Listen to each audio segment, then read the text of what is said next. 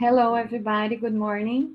Let's start the first talking of today entitled Precision Livestock Farming, Technologies Used in the Study of Animal Behavior, Dairy Cattle as an Example. It's a pleasure to introduce uh, Dr. João Costa. Uh, João holds a PhD in Animal Science. He is professor assistant at the University of Kentucky, Lexington, United States he is also the coordinator of the Data Science Program Research Group and director of the Coldstream Dairy Research Center at the University of Kentucky. Please, John. João, desculpe. No problem. I translated your name. yeah, John, Joe, Costa, whatever. I'm I'm fine with it all. So, well, first of all, thank you so much for the invitation to be here. Uh, well, Dr. Santana and all the students that are organizing the event.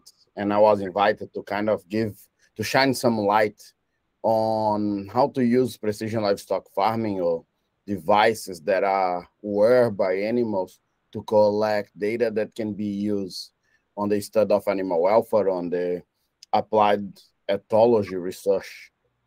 So what will try to do today is to give a little bit of introduction of what are these devices, what are this technology, uh, what is precision livestock farming, go through uh, some of you know what is out there, and especially as you guys saw, I work with Dairy Cattle. I will try to branch out of it, but I will try to talk. I, I will end up talking a lot about Dairy Cattle in general. I will bring some examples and then discuss some of the problems and challenges, and especially uh, how that amount of data actually changes some of the hypotheses and some of wow the science that we do in general. So i will start actually talking about like the most obvious thing is that it's a field that is growing crazily. So it's you know the precision livestock farming or precision dairy technology uh for as an example is growing exponentially like I actually just came from the European Congress for Precision Livestock, and it double in double in attendance in the last uh, two or three years. So it's it's an area, as you guys know, the same thing for humans, but obviously uh, it's translated to animals. The censoring is an area that grows uh, pretty much double uh, every year or so. So I bring the EuroTier as our uh, a place because they have a very good website actually with a lot of options is where pretty much the world of precision livestock farming meets uh, once every two years and discuss most of these of these topics and it's really hard for us even to keep track of what is out there, what is happening. Probably what I will show today as an example, it's already a little bit older and because the, the time that it takes for us to try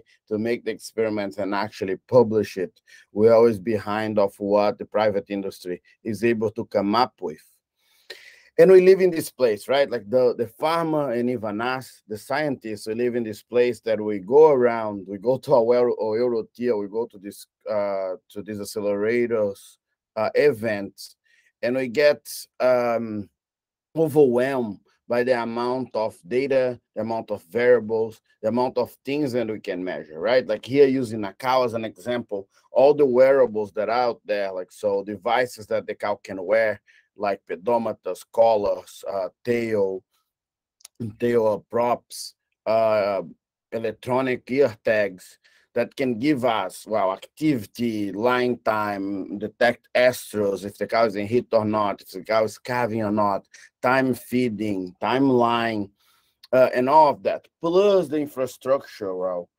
uh, precision livestock farming in general that goes in the parlor, uh, goes around the farm in general that can give uh, even an older uh, layer of variables that can be measured, like body weight, body condition, the outputs like milk, and all of that. And we live in this world, right? That we have this, this major question of how to set up both the management of farms, if you are a farmer, if you are on the animal protein production side, but even if you are a researcher, what can I use on my studies to test my hypothesis to use on my studies that will be actually useful and helpful in achieve those objectives that we are looking for. Uh, there are some options here. We'll put some links, even making a little bit of marketing for our own uh, web page, uh, the Precision Perry, that is our mascot of my lab. But uh, for D4F, uh, a very good setup on the technology that are available, the variables that they measure, and especially the studies and the validation that have been done with those technology, because that is fundamental on the use of that, and I will try to talk about that.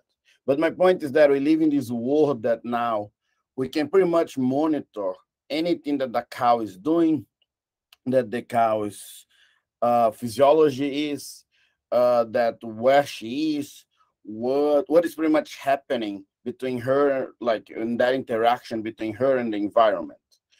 And that really changed how we we can look at science. Like we you know uh, i come from a place we were in a place that if you wanted to know what a cow was doing you had to get like five interns put them on pasture 12 12 hours per day at night was super hard to see if they were lying if they were standing i did like i did a lot of fecal counting fecal like fecal events on cows like oh is the cow actually defecating right now or not was little with binoculars, with lights, with lanterns, things like that, that made it like very complex to get data off a very limited number of subjects. And now we live in completely different world where we can put like 10,000, 15,000 animals or cows in general, that we can have daily tracking of all these uh, these variables that we want to obviously cost money, cost time, but really uh, makes us question what we can do and especially how we're going to change the hypothesis, the studies that we are doing when we are faced with that possibility. So we'll talk about some of these possibilities. So obviously use us as example. I will I will talk about cows. We have like my my research lab uh, beyond other areas is specialized in applied ethology and especially with the use of precision livestock techno uh, precision dairy technologies uh, and we have used probably like around 30 technology at this point in time including the rumen bolus cameras uh, collars the electronic wearables uh, as a whole and especially some of like i'm very interested on some of the the specific technology, and I will try to talk a little bit about that. But first, I want to talk about the possibilities, right? Like that idea of the technology is just one more tool. We are able to do things. We are able to collect uh, data. With our science still uh, depends on a lot of non-technological, let's say, uh, tools in general but the technology brings us the possibility to do things that we never were able to do before.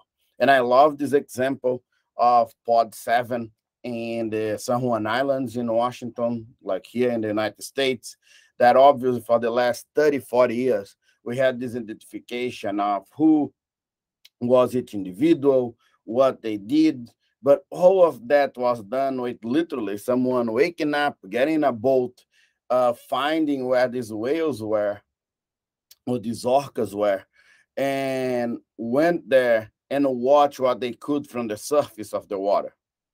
And there are many limitations to that, right? You just can see when the water is breaching. You just can see when they are in the surface. Uh, first, uh, you have to find them. The boat scares them. They are wary of your presence. Uh, things like that. So here, very simple technology actually. Would, uh, some people probably not even consider that a precision livestock, tech, well, livestock for sure is not, but a precision uh, technology in general.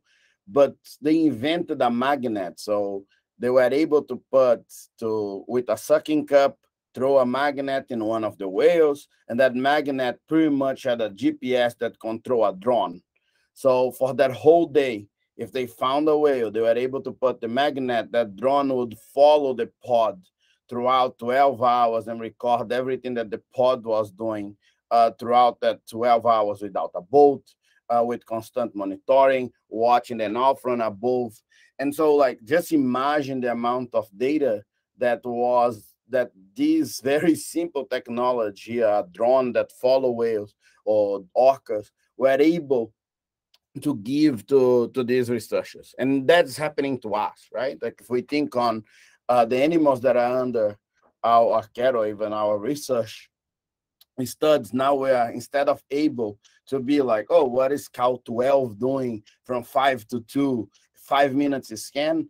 Now we can have 15, 20, maybe a thousand cows that we get second data of these animals throughout time. And that possibility is what I would try to talk about and especially what to do with that data. But like I want to first, like that's my first take home message is that the the possibilities that are out there uh, are pretty much is incredible, right? Like we are going to change how we collect data of animals and especially their behavior and what they are doing throughout time. So we live in this world with a lot of data, and we really need to go through that discussion of how to make that data into insight and especially into action and collectible information. And there are many things for this technology, right? That like first is that the data that we collect, like the sensors collect, actually can be translated to something that makes sense, that is a meaningful action, that the information is readily available to the farmer, to the researcher, to whoever uh, is in charge of the technology. Obviously, need to be robust, like our most of our animals live in environment that require some robustness for these uh, devices to be reliable. Obviously, has to be cost effective uh, if we want to to monitor a lot of animals and especially have to be simple and solution focused and i'll try to talk a little bit about that and especially that relationship uh, with animal welfare right like if we think on biological functioning of these animals.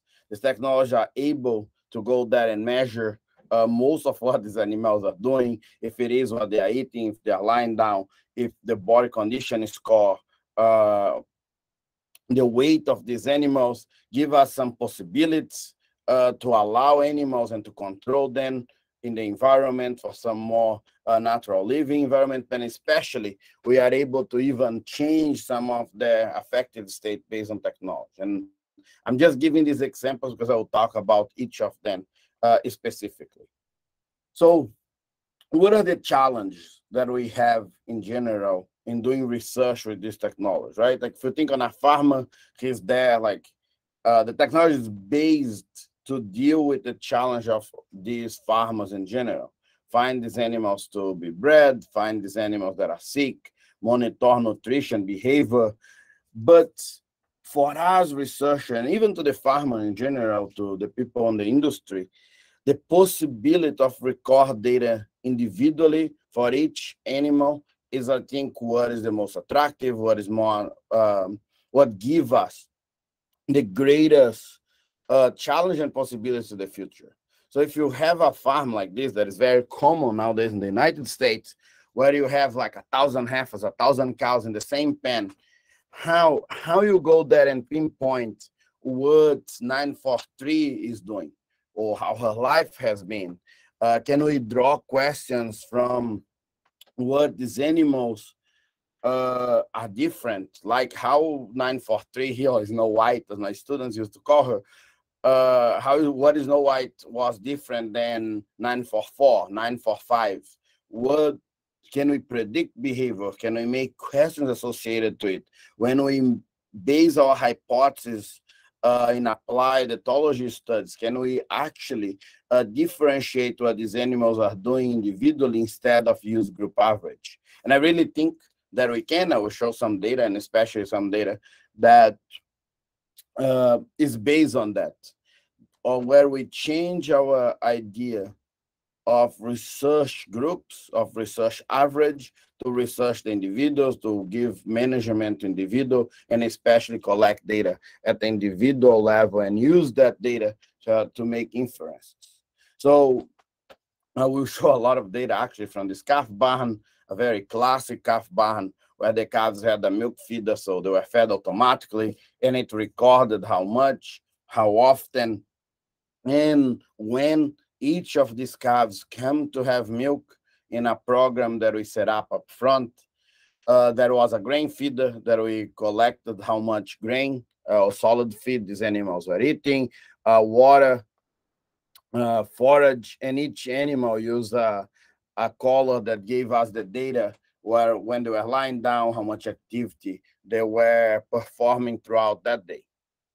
So we did, uh, I will jump most of the, the nutrition side, but what we did was to give these calves different amount of milk. So six, eight, 10, or 12 liters per day. We offer them that amount. They obviously drank uh, whatever they wanted, but very close to what was offered. We started to wean them at week six getting 50% of that milk allowance down and then wean them completely at week nine. And you can see, like I will, uh, obviously, it's not rocket science. Calves that drink more milk end up growing, growing faster. But is and obviously, uh, calves that had more milk ate a little bit less concentrate. But if you see at the end of the time period of the experiment, actually, those calves were bigger, were eating more grain, grain intake. However, what about Snow White? Like this is group average. We go there and like this textbook, right? And that's what we did. We do this. I do this my my career halfly depends on this. We go there, we test 12 calves against 12 calves, and we hope that the average are different between them. But what about each calf? What about Snow White? What about the the calf that was there in this experiment, going through uh, life independently of what the group was doing? And that is this idea, right? That that calf has to be there. It must transition from milk to solid feed. So a calf that is born, we give them milk for a very short period of time. The point is that it needs to learn where, how, and what to eat. And that calf is there going through that. The red line here is the average. So what I showed, we go there and we publish it in Journal of Dairy Science saying, in average, calves ate um, X amount of grain throughout time. However, each of the gray and black lines are individual calves. So we have a calf right there, like the technology come to us and say, during this time, he ate nothing all the way when we reduce milk. Some of the calves, all the way to the day that we remove like a bigger chunk of uh, milk, didn't eat any grain, any start, any solid feed that was offered to them. Where some of these calves, I like to say, like the little fatties, the the joals of the pen, they're like, mmm, grain. We are like, this is like best thing ever and by the time we even reduce milk, some of these calves were eating our target that was one kilo of, of grain per day. Some of them, by the day that we cut milk, at day 49 are eating three, three and a half kilos. And that crazy individual variance that we that we see in not just in grain intake, in many things uh, with animals, really translates in meaningful action, right? Like if we think here at the weaning period, so the time that we are reducing milk and transition these calves into solid feed, there is this crazy direct correlation between final post-weaning weight and grain consume on that week of, of weaning. And that's almost obvious, right? If you if you're eating solid feed, we are going to cut you out of milk anyway. Uh, you're going to gain a lot more weight if you are ready for that transition, especially if you are eating more grain, more nutri nutrients in general. So that information is there, right? Calves are different, and it's not new. Like we we know that calves are different. Now we are just able to to go there and collect those differences uh, easily with a machine from every calf. But what do, what does that individual variance means? Where it comes from? What are the source of it? Can we investigate, and especially can we deal with it? We'll just make an addend here, like a branch, and talk that there is a major thing that is temperament of these calves or personality difference, personality trait difference. We a lot of studies, and we're still doing actually because I'm very interested on that, and especially using precision livestock technology to do that. That is, uh, can we measure personality? Can we measure temperament? Can we measure how these animals interact uh, with the environment and with that predict how much uh, grain they with even if you don't have the grain data or the intake of solid feed data. And we actually found that very and was kind of expected the very explorative calves so calves that are curious that actually interact a lot with the environment are the ones that end up gaining well more weight but eat more grain early on in life and so what we thought is like can we actually instead of manage these animals as a group can we use that individualized data to individualize management uh, on farm? And that was always the question, right? Can we transform everyone actually in 7032? 7032, actually, her name was fantastic or fantastico because she was born Sunday night and she was a perfect calf right? She was there. She always drank all the milk that was offered to her. She ate like triple the amount of grain that anyone that we had in this trial. And more important, like by the time that she was done, uh, like her time was done, like her 84 days, she was so heavy that we couldn't weigh her on the scale that we had for the calves. As you can see, like she was above the scale threshold. So can we go there and tailor that strategy individually and especially make that hypothesis, right? Like we are able to have the data from every animal. Can we make management for every animal? And especially to balance some of these very expensive resources that is milk and grain, especially milk that is super expensive for these animals. So our idea was to divide it. Can we make um, an, uh, a plan that calves receive a very intense milk diet for the first six weeks of life, and then we tailor those calves to concentrate. So what we did was, obviously, these calves were uh, able to have milk for the first four weeks of life, and then at four week we reduced the milk in 25%, and now we would self-wean. So the calf would wean itself from milk uh, based on the data that we collect. At this point, I will talk about this one that is the simplest one. We've done now with activity. We've done now with other variables. But at that point, we did with starter intake. So if the calf ate the target, so 225 grams, it would reduce 25% more of milk. If it ate 675, it would go 25% less. And then if ate uh, 1.3 kilos, it would be completely weaned out of milk. And what we found is obvious, right? The calves that were in the individualized program, instead of the ones that were weaned by age, actually ate a lot more of concentrate. But we are pretty much selecting the calves that were eating uh, more grain, right? Because if you eat more grain, you wean earlier.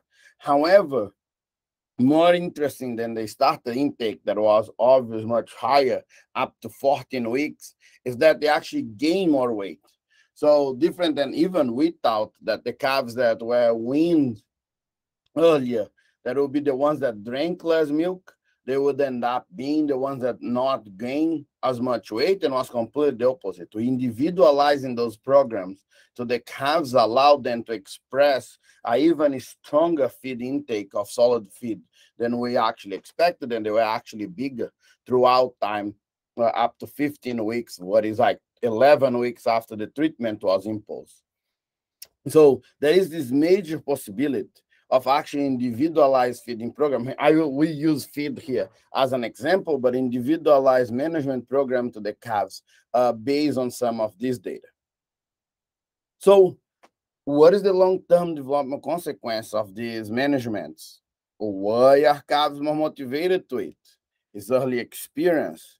Uh, what what make these calves have this crazy individual variability in starter intake and thus weaning age. Some of these calves actually the, the earliest they could wean is 42 days. And some of these calves, as you can see here, literally three days, boom, three days, boom, three day, boom, when were at 42, 43, 44. And some of these calves were there that even failed to wean. They never ate the amount that was expected from them, even 40 days later at day 90 we had to go there and press the computer and say like okay now this calf has to wean and that crazy individual variation is seen everywhere, right? And if we if we think here on the normal management that we do to these animals, and day 60, everyone will be win. What is actually you can even see here that is pretty much the average. So we set up management in many ways in our farms based on the average of the group. However, there's two tails, the calves that could have had much earlier weaning having a trouble and the, the opposite as well. So will these calves struggle with other things? Can we help them cope? Uh, can we predict it from a young age which ones are going to be there? Can we do something about it? Can we help these calves? It's all questions that are still open, but what I want to do is to foment this discussion of why we treat these thousands, maybe sometimes even hundreds of thousands of animals as this as the same when they are completely different. And for us, especially on the behavioral side, like why are these calves different? Is there a personality trait uh, influence? Is it um, diet, ruminal microbiome? Is it management, early experience? There are so many questions uh, to be answered based on that.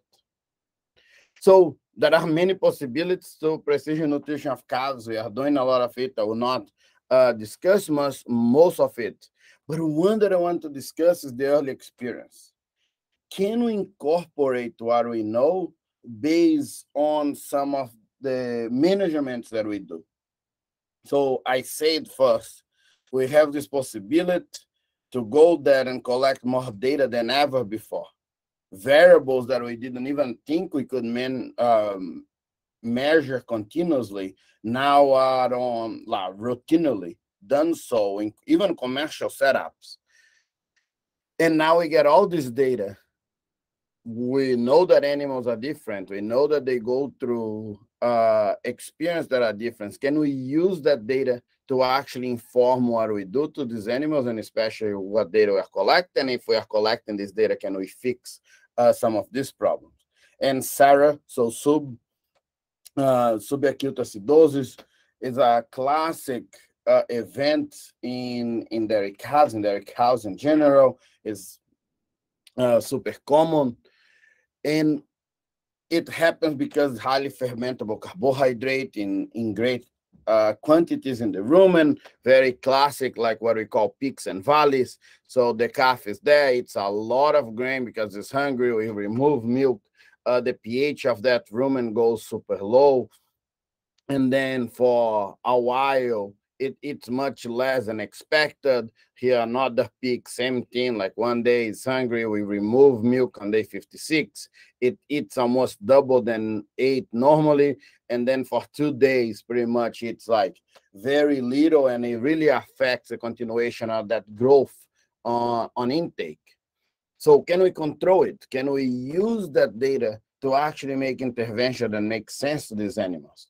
And that was the idea we can incorporate that nutritional knowledge that we have into feeder programs. And so reticulum rumen bolus uh, are classic in the industry. Uh, we can use them to measure temperature, activity of the cow, but especially pH on the reticulum rumen of that animal. We know what we can do to, to help with SARA. Can we use that to actually go there and select these animals that go through uh, to go through some of this management. And what we did actually was that can we use that data? We use that data to select the animals that we thought that were going to SARA and receive a probiotic that helped with that. So those are the possibilities and what what we can do.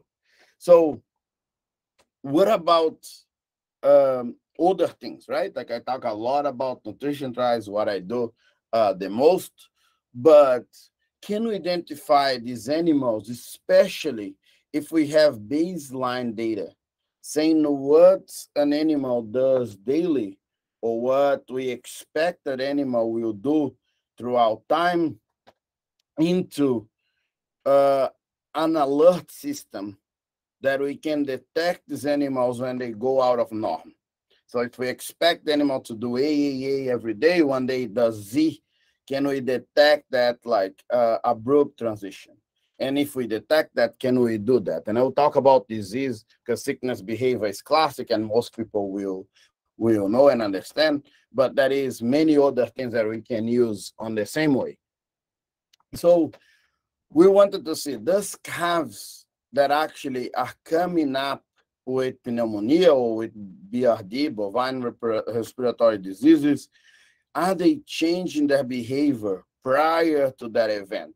So the day that we come in and say, uh, 1466 here is clinically diagnosed with pneumonia, can we look back for that days and see like, oh, three days before we actually saw her in the corner uh, coughing, she was already changing her feeding and her activity behavior. And that the answer to that is yes. We can see like here, days of diagnosis zero. So the day that someone come to the farm and say like, oh, this cow actually, or this this calf actually was diagnosed with pneumonia, we can see data changing for at least five days prior uh, to that. This is lying time, like the time that she's spent lying down but many other things change much prior to disease, like how the activity of these animals goes through, and you can even see like the the IM here. So the cow, the calf was exactly the same. The calves that were healthy and sick was exactly the same seven days prior. It opens up day zero. These animals are treated, and then seven days back, uh, they actually the groups are non-different anymore. So it's a, a classic graph. We've seen this in in many diseases, and BRD is one of the the ones that we see it very clearly, and we have studied you know, quite uh, quite in depth. And lying time, activity, feeding behaviors really changed that five to seven days prior to diagnose of the disease. But what to do with that, right? We go there and we say, yes, uh, 2466 will change their behavior five days prior to disease. We are able, as I said, to collect data from all these animals throughout time. We cannot go and say, like, okay, these calves might be changing. And what we did, and Melissa here, my former PhD student, now a postdoc working with this actually, uh, the University of Guelph, we went there and it's like, what are all the data that we can collect from these animals? And to create models that we could detect the calves that could be coming or were at risk to become uh, ill. So we went there, every calf used a pedometer that recorded activity, lying time, lying bout, uh, and time spent uh, running in the pen they we had body temperature based on a microchip, how long they use the brush, what they ate, milk intake, uh, and all this data was collected and using a machine learned model for us to get all these variables together to create an algorithm that say, okay, four is super healthy right there, like chilling, and one calf, uh, this one might be at risk to become uh, ill in the next few days. So we are able to do that. Actually, I will uh, I deleted some of these slides because of the time, but we are able to create this algorithm that say this calf actually is at risk and that risk increases through time. So the calf can be at 50, 70, 80% at risk to be diagnosed with uh, BRD in the next little while. And we use that to be like, okay, if we can identify these calves that might be at risk, what does it matter? So we come around and is I always joke about that. If I come to you now and say like, oh, you might be getting COVID in the next seven days, what are you going to do? Like, you know, what are you going to stay home? Are you going to take medicine? Are you going to isolate yourself? This is a at risk uh, possibility. But one thing that we actually can do is to go there and give a nutritional intervention, so support for the immune system to deal with that uh, early infection or that early disease. And that's what we try to do. It discards more than be able to say, okay, the behavioral change prior to a disease. We are able to tell that these animals at risk. can we actually intervene early enough that some of these calves will not develop that uh, illness at least will develop the illness with less severe symptoms. So one of the things that is classically used as a support therapy in calves is colostrum. Colostrum, first milk of cows, full of all the goodies, as uh, we like to say, like uh, IgGs, a lot of uh, hormones, a lot of uh, highly nutrition, highly digestible uh, nutrients. So we got that every calf that was triggered, well, every calf that triggered the alarm, that the alarm say this calf might be at risk in the next uh, three days to develop BRD. It received one liter of milk of milk replacer if it was a control, or one liter of colostrum replacer for three days with 125 grams every day. So uh, 375 in the three days uh, with colostrum.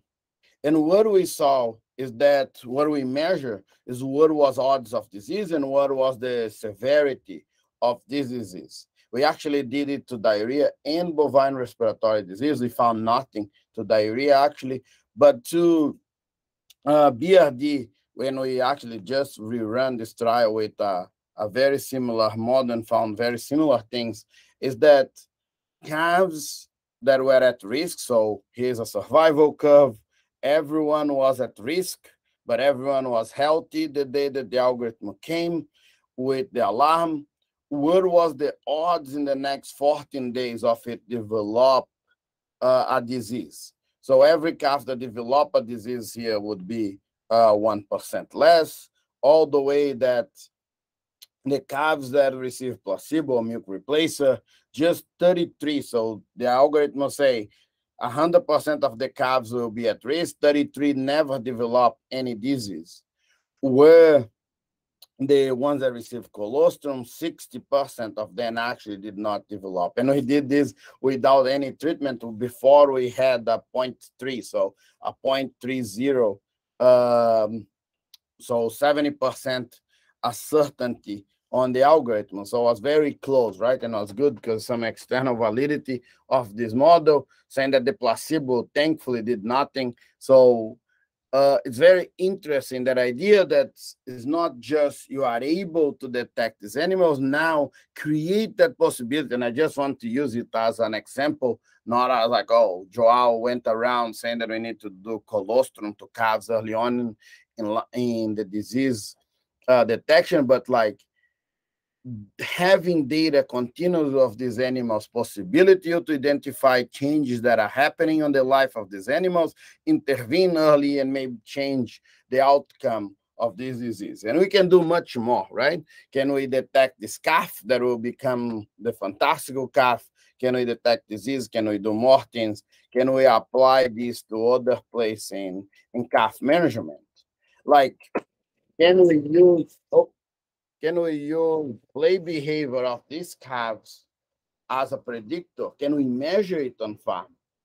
Uh, what are the possibilities? And we actually can do that. We can. We are able to be there and say, uh, you know, I always talk about these negative things that we are able to detect and measure, like the calf was going to get sick, the calf is not eating enough, uh, the calf is in pain but could we use this possibility to actually measure the positive side as well? Like, can we go on farms and say, your calves play enough, your calves are socializing enough, your calves are, are being measured to be in a positive, effective state? And I think there are possibilities uh, to do so. So, okay, I just don't want to talk just about calves. I'll talk a little bit about cows, not not out of the dairy cattle environment, but what you know, I want to foment some of these ideas and some of like how can we use the data, the continuous collected data to make uh, different science and especially different management of animals. So uh, there is this big uh, was this big headline saying that over 90% of the workers, so the cows in in the US experience heat stress. on the job. And there are many methods to try to abate the, the amount of heat stress these cows experience on farms. I think most of you have seen, if you know, the farm setup where we shower them, we soak them, we um, we mist them with water, ventilation, and all of that. But all of this has been done in a way that was done by the group environment and very little for the individual when the individual variation of how this cow, this cows experience uh, the heat stress is it's huge. So what we did was, can we actually, actually we were approached by a company a long time ago that discussed like, could we have an individual heat abatement system for cows? And we did that. We created an individual system, so a soaker that is actually commercially available. But what we did is we set up in a way on cycles that we identify the cow that is there, what was the temperature, and especially we wanted to know what was the individual variance that we saw into this animal. So if the cow came through the soaker, it will identify to who it was, what was the temperature of that cow's uh, rumen, and with that would receive a soaker. And we wanted to see are these cows, we train them to use the soaker, so we walk them for, you can hardly see Amelia here, one of our farmers technician, walking some cows down the soaker. Then the cow would be voluntarily. So the soaker would be there, and she had to decide on her own, like, oh, I will go there, uh, get water on me right now. And we wanted to understand, like, do these cows first understanding is that individual variance of the use of the soaker? and we never expected to see what the individual variance it was that it went from here is THI at the bottom. So THI is the temperature humidity index. So uh, a relationship between temperature and humidity that is how like almost like the feels like uh, that we have for humans where it is increased for cows we accepted that 72 is where it highly affects these animals. Uh, and 80 is actually pretty high for the setup. And you can see that some cows were going to the soaker even when was still uh, not hot in the environment, but you can see that clear linear relationship where cows end up going more. But if you see each dot is one cow here in the setup, you can see that they repeat themselves here very high, where 60, 12, the, the green square here is a cow that went more than 200 times in the day uh, in that soaker. And so are these cows different? Can we we set up things different on farm? And I really, I really think that we can. And I will finish my last point of the use of precision technology, especially on science and in management of animals, is that now we are able to keep very high reliable records for all the animals on farm. So always ask, right? Like, oh, how many hours does your cows ruminate every day in the last year? And it's impossible to know. Even if you have three cows, you have two dogs at home. Like, what, what is the time that your dog spend lying down per, per day? in average in the last month, you might have an idea. Say like, oh, it's a very lazy dog that spends 18, 19 hours, but it's like up from your head, right? You don't have reliable records to do so. And the precision technology give us that possibility to keep those records throughout time and even maybe even do animal welfare monitoring. And a lot of that is happening, right? Like a few years ago now, uh, McDonald came out and say, through that pressure of keeping reliable records, that they would partner with precision livestock technologies to be able to monitor on farm every animal, every chicken in that case, actually every uh, every chicken that went through their food system to have behavioral measures of all these animals and able to improve the life of those animals in real time. So the possibilities are, are huge and they are happening. And that transition from uh, third party audits that we go on farms, we see the cows are doing once per year, into that possibility to know what every animal is in that variable, like what is the level that animal are in, in that variable throughout time, really change the game. And I would just use BCS, so body condition scoring of cows as an example. So traditionally we go there, literally me here 10 years ago or more, going on farm and say like, oh, this cow is a 3.2, that cow is a 3.5, this cow is a 3.8. In that moment, with my eyes, with my training uh, on farm. And now we have that possibility that we can have the body condition score of every cow every day that it walk out of the milking parlor uh, throughout time. And we did that. We wanted to see what happened to cows. We wanted to stratify uh, the ABS here that is just like automated body condition score from the camera throughout time. And what we did, we went to a big large dairy farm. We follow uh, 2,500 cows throughout the whole lactation and we wanted to see what affected and especially what was the average.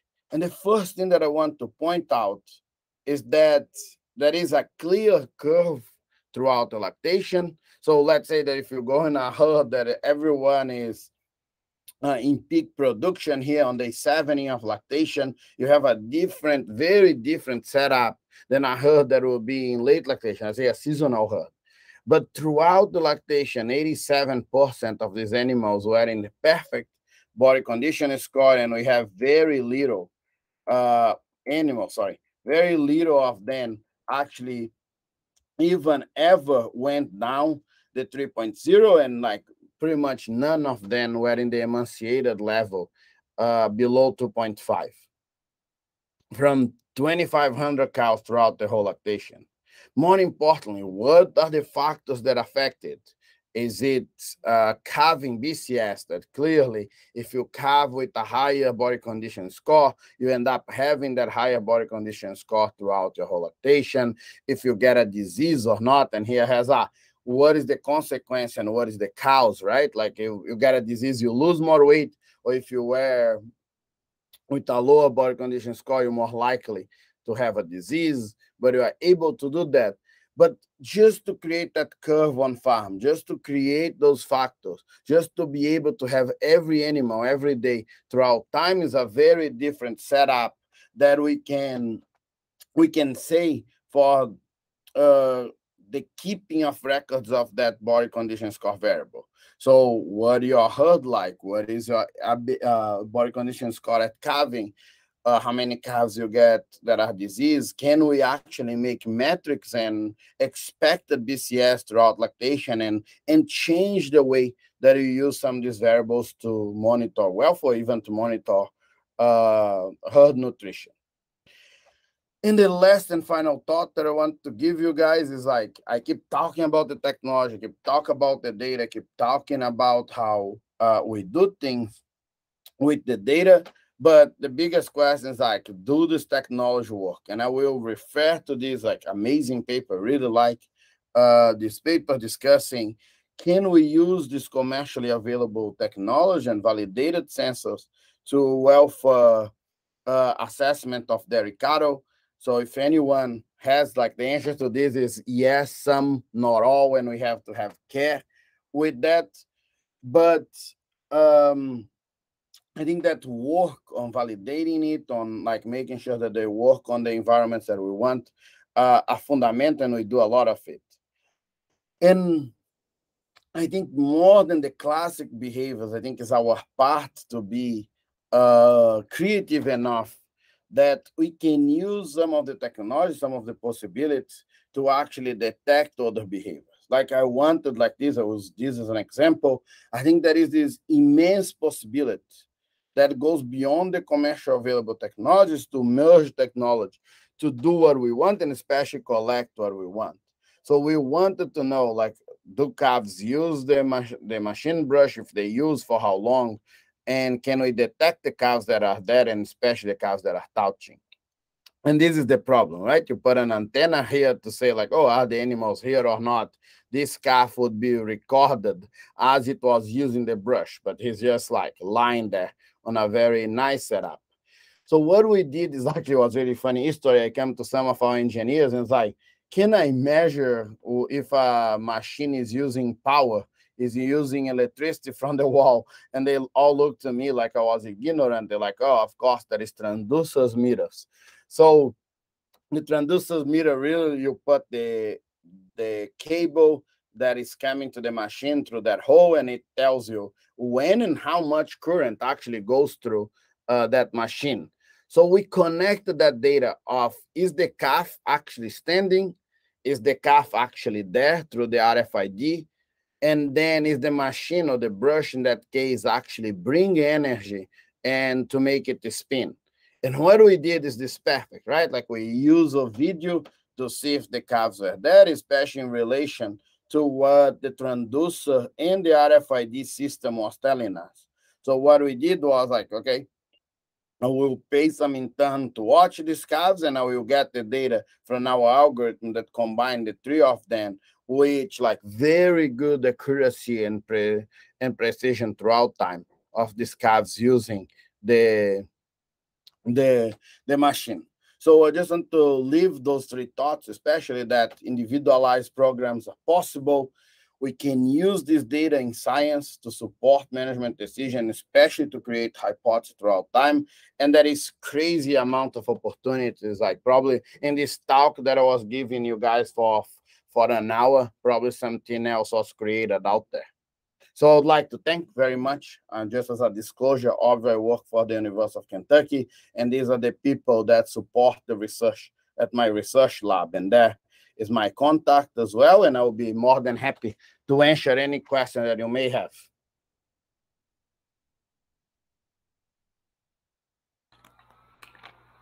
Um, thank you, João, for the very nice presentation.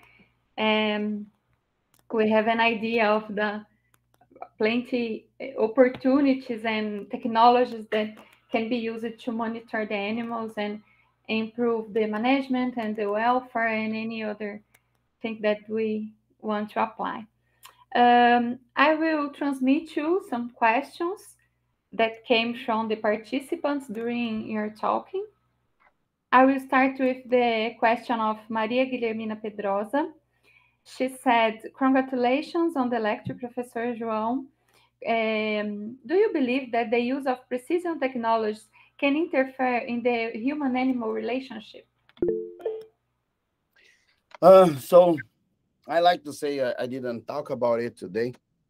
I like to say that the technology is a tool that will be there to be used for management and to pretty much translate some of these variables uh, to us. The cows were always there doing those behaviors, having uh, some of these uh, physiological matters going on and changing through time.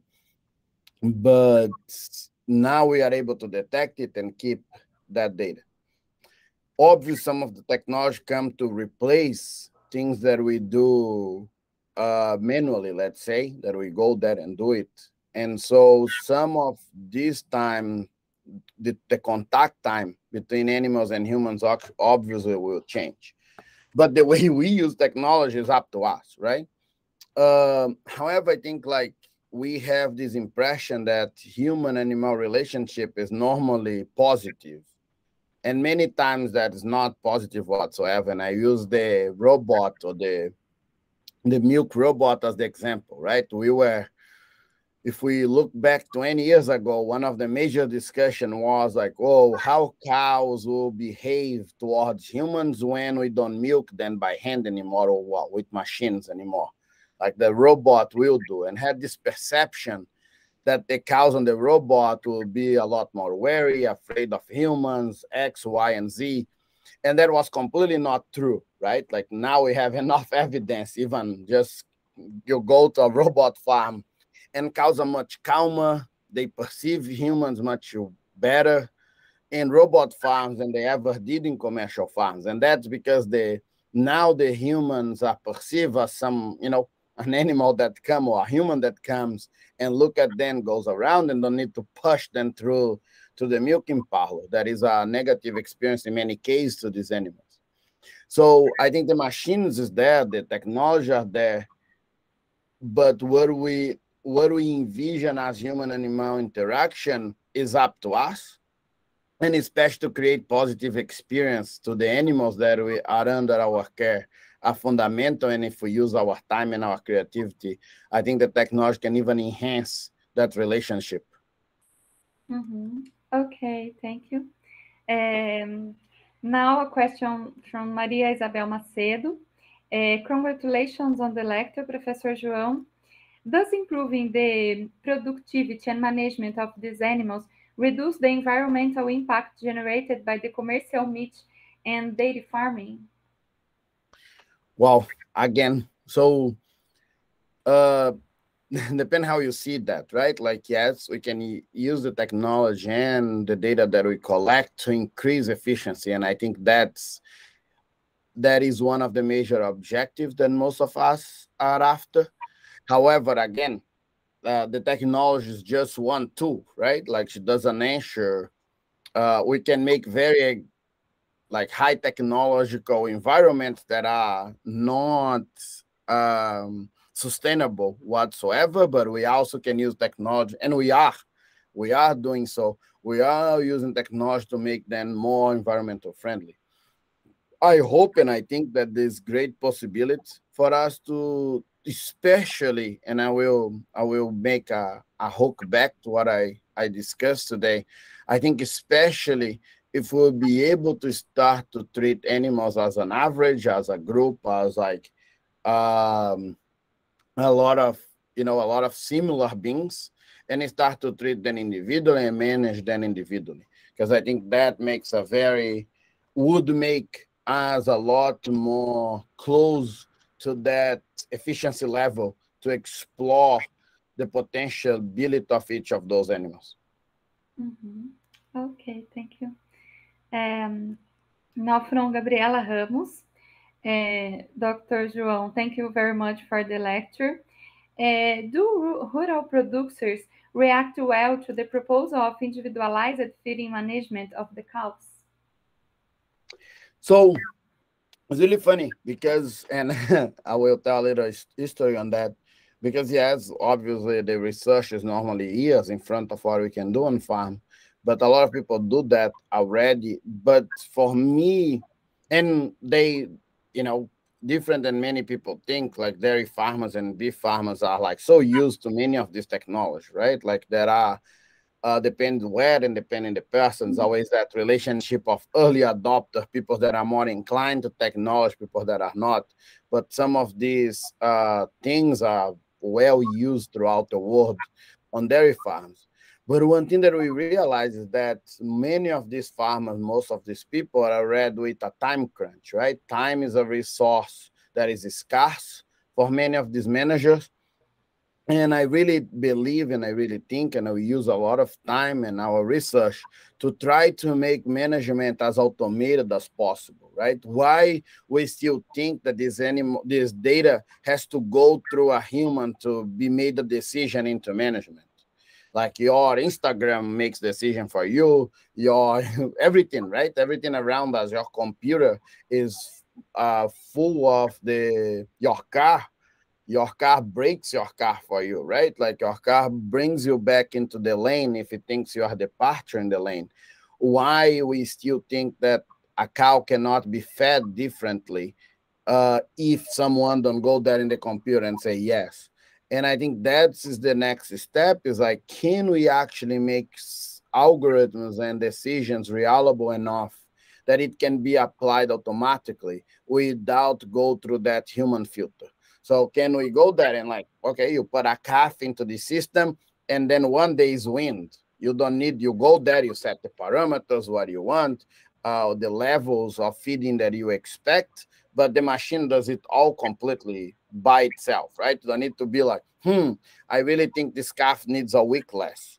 The machine can do that for you. You can do that automatically. And we actually are the point that we could set up that system commercially. And I think that those are the next steps.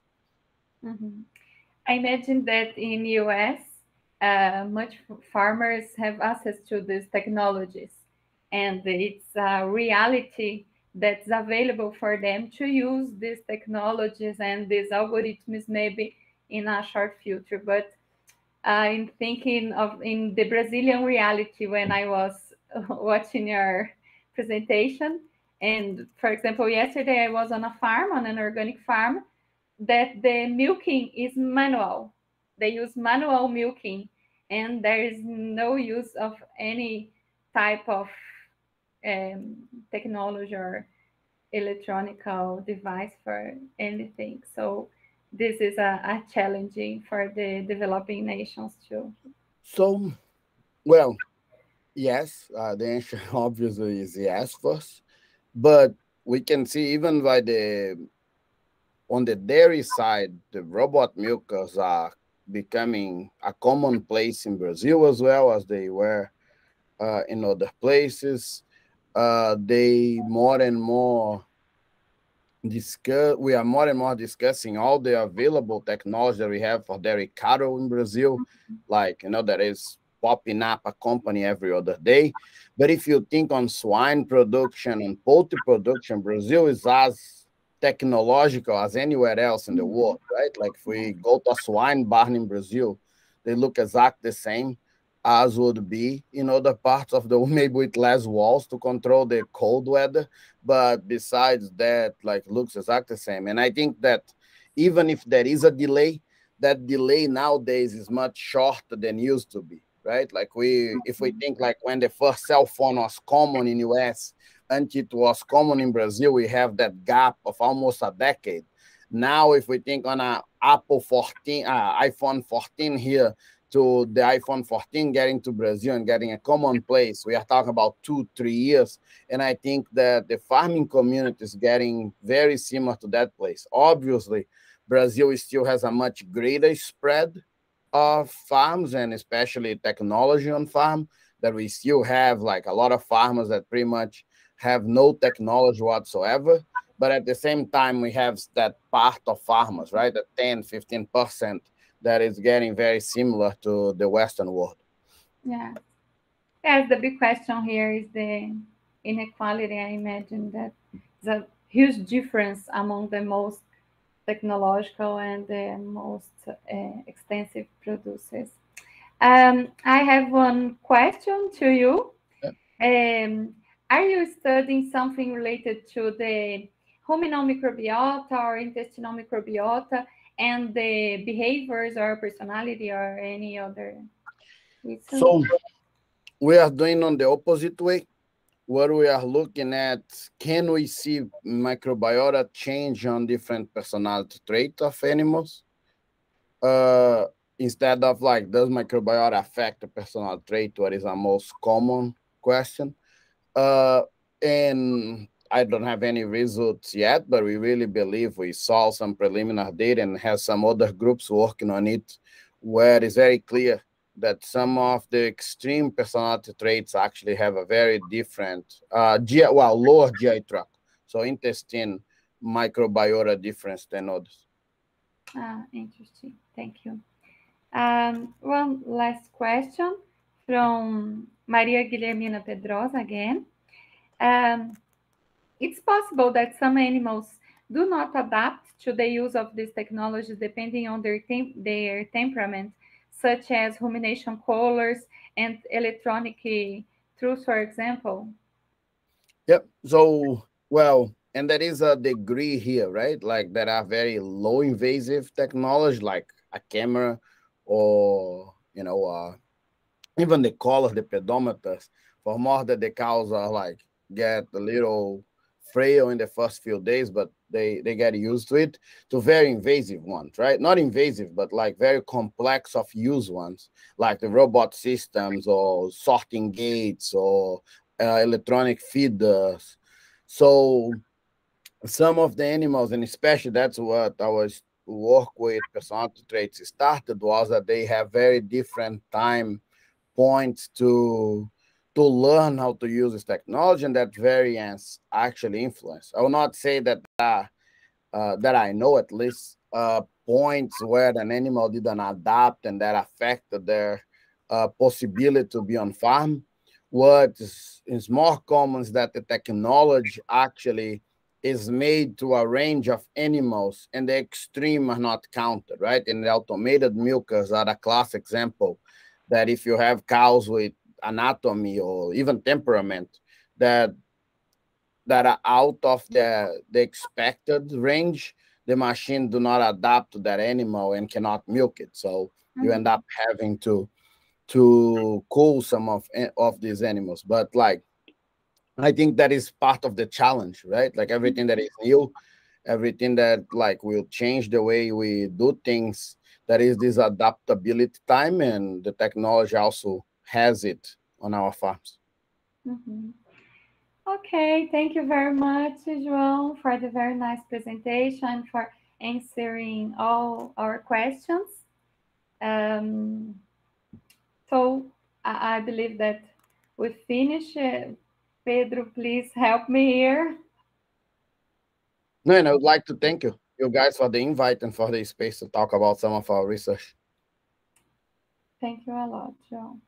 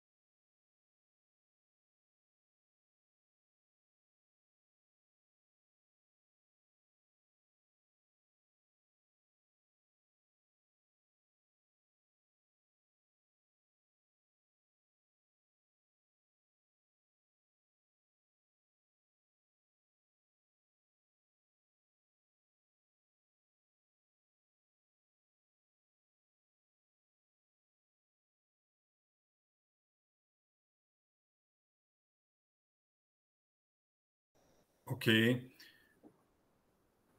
Hi, good morning, everyone. I am Professor Fábio Presoto from the Universidade Federal de Juiz de Fora. It is a great honor to present Professor Natália Albuquerque from Psychology Institute at the Universidade de São Paulo, who will give the lecture New Ways of Studying or the Question About Emotions in Animals. Natalia Albuquerque holds a PhD in Animal Behavior in Experimental Psychology program at the Universidade de São Paulo. She is member of the Animal Behavior Society, of the Brazilian Society of Ethology, of the International Primatological Society, and the Brazilian Society of Psychology. Her lines of research are especially the mechanisms of the social emotion regulation in animals in intra and interspecific relations. Natalia, thank you very much and good presentation. Thank you so much, Professor Fábio Presoto. It is a great pleasure to be here. I would also like to thank Pedro and Gabriela for being uh, behind the cameras, assisting us with, with this presentation. And I would like to thank all the organizing committee for inviting me, for having me here. It's, it's a great honor.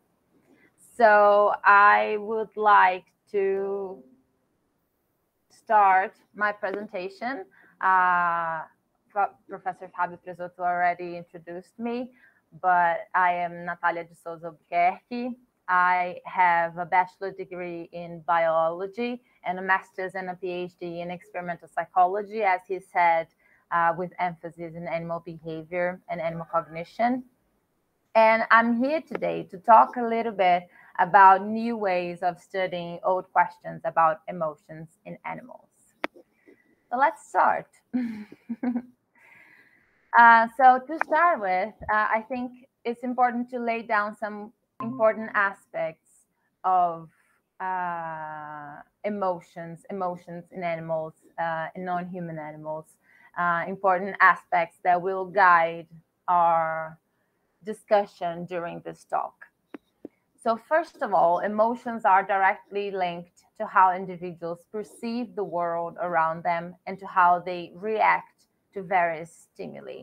And some researchers will also say that emotions are a means of evaluating experience.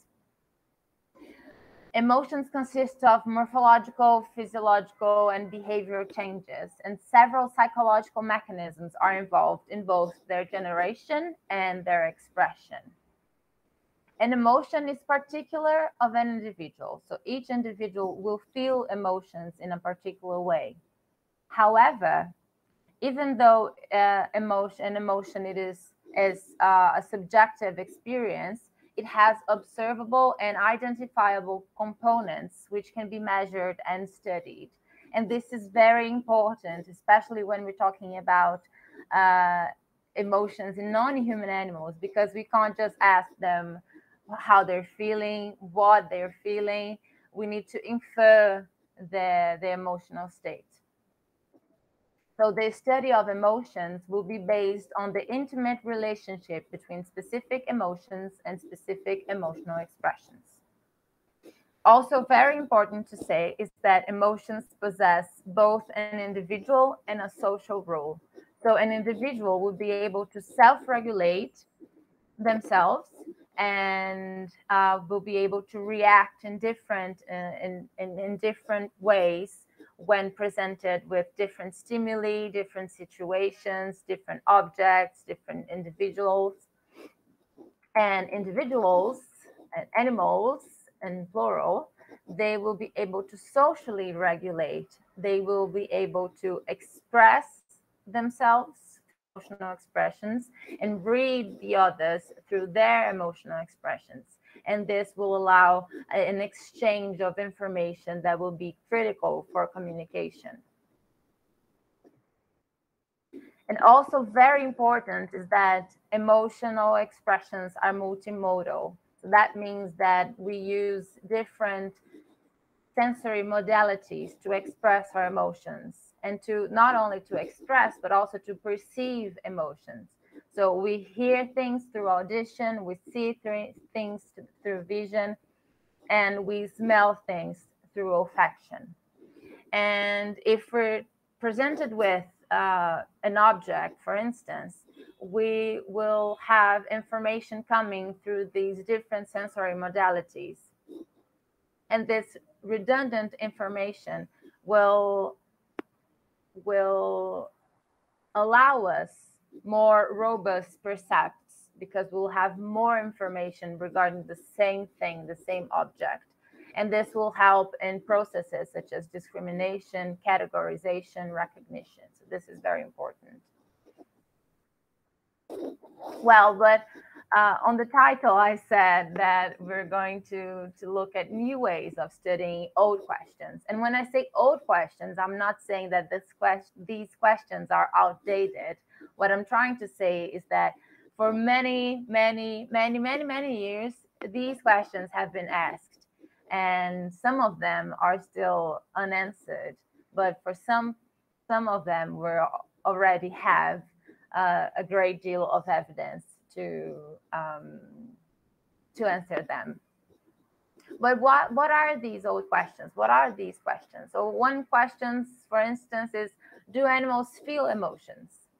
Um, another question is do animals express emotions? And if they do, how do these animals express their emotions? And questions such as Are animals capable of perceiving the emotional expressions of conspecifics? And what about heterospecifics? Is that possible? Well, I present to you a new way of answering these old questions. Dogs. Dogs are new ways of studying these old questions about emotions in animals. But why is that? Why are dogs a new way of studying these old questions? Well, dogs are very good models for the study of, of the evolution of social cognition and social behavior. That is because, first of all, they're social. They are social animals. They organize themselves in cohesive, uh, complex social groups. Dogs present very interesting, intraspecific, which means conspecific with conspecific, dog, dog interactions.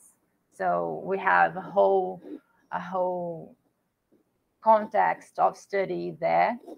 Dogs uh, present very interesting interspecific, so heterospecific with heterospecific, and in the case of dogs, especially dog and human uh, interactions. So again, another whole context of possibilities for studying uh, animal emotions.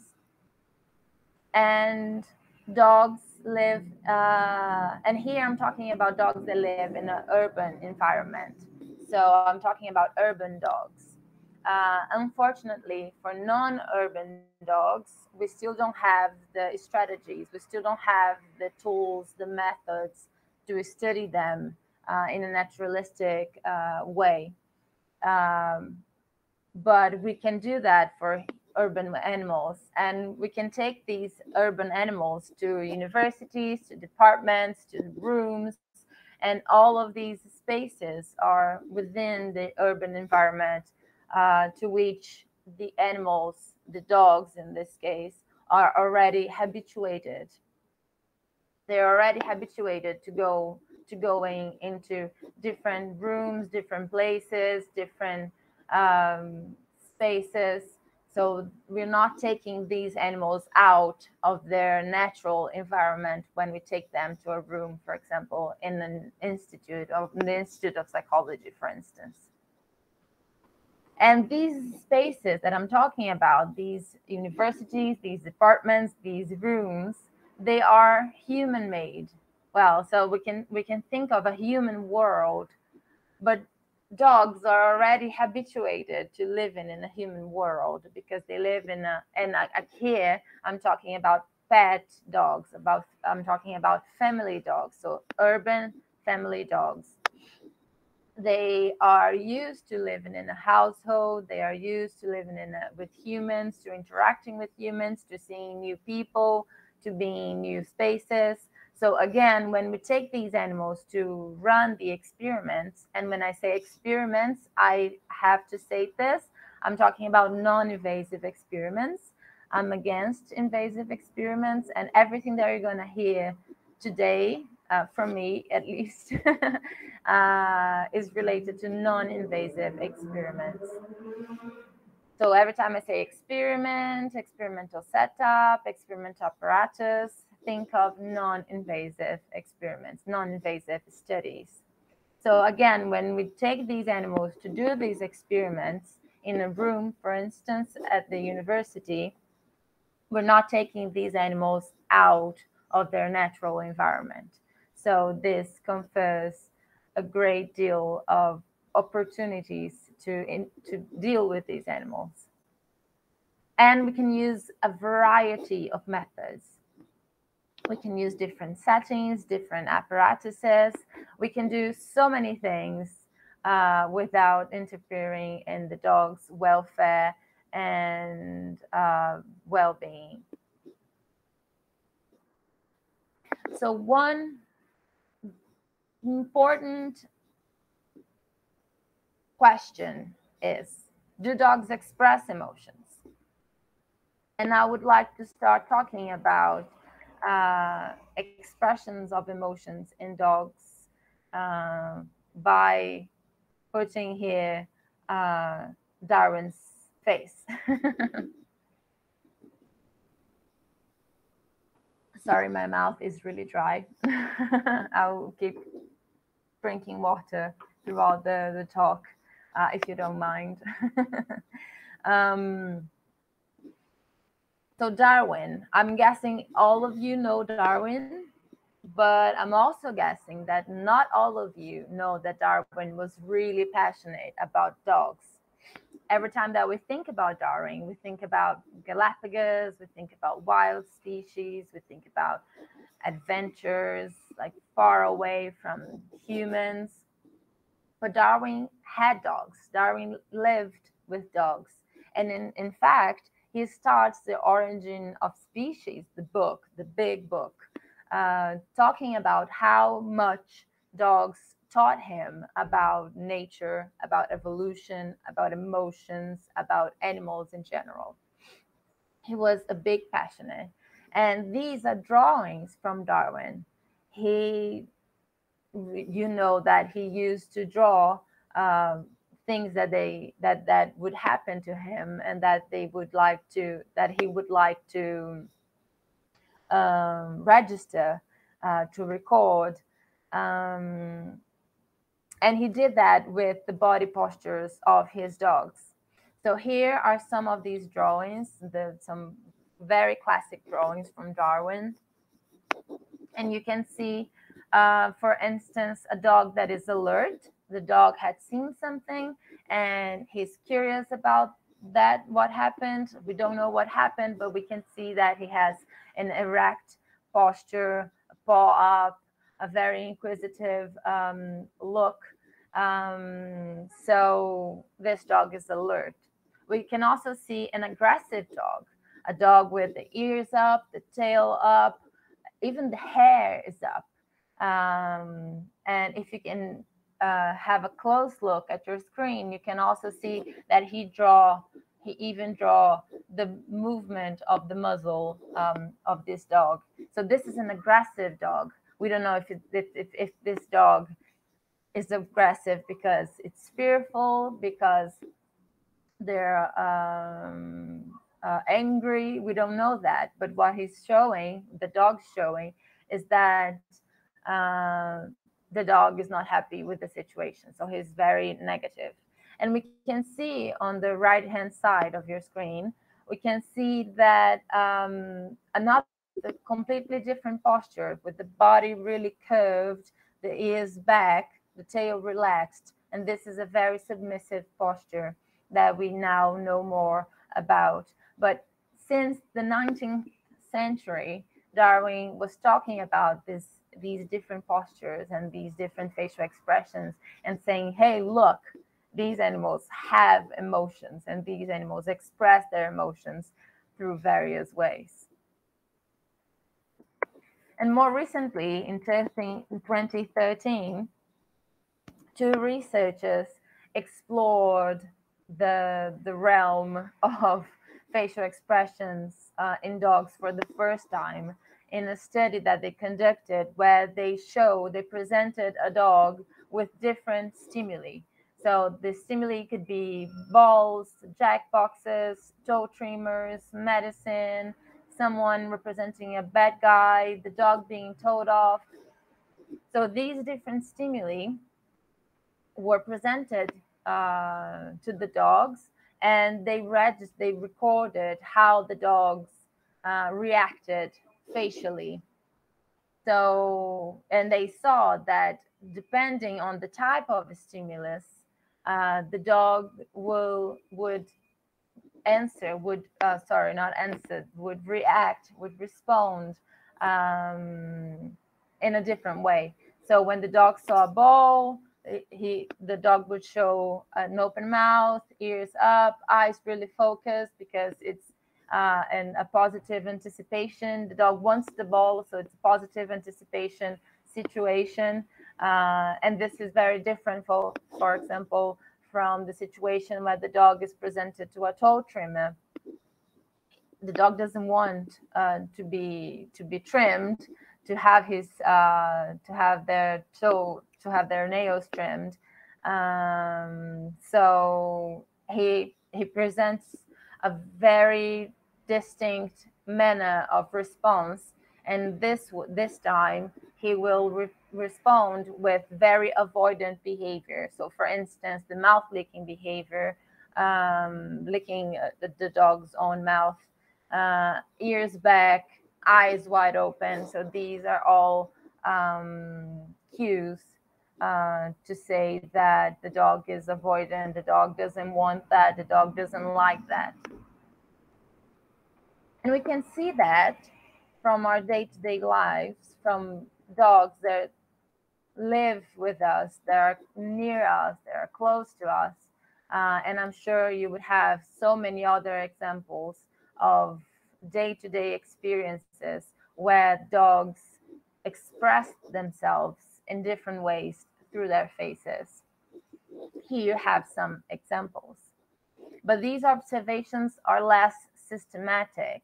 And today we have more systematic more objective tools to to measure the the facial behavior of dogs. So uh, for that, we have FACS.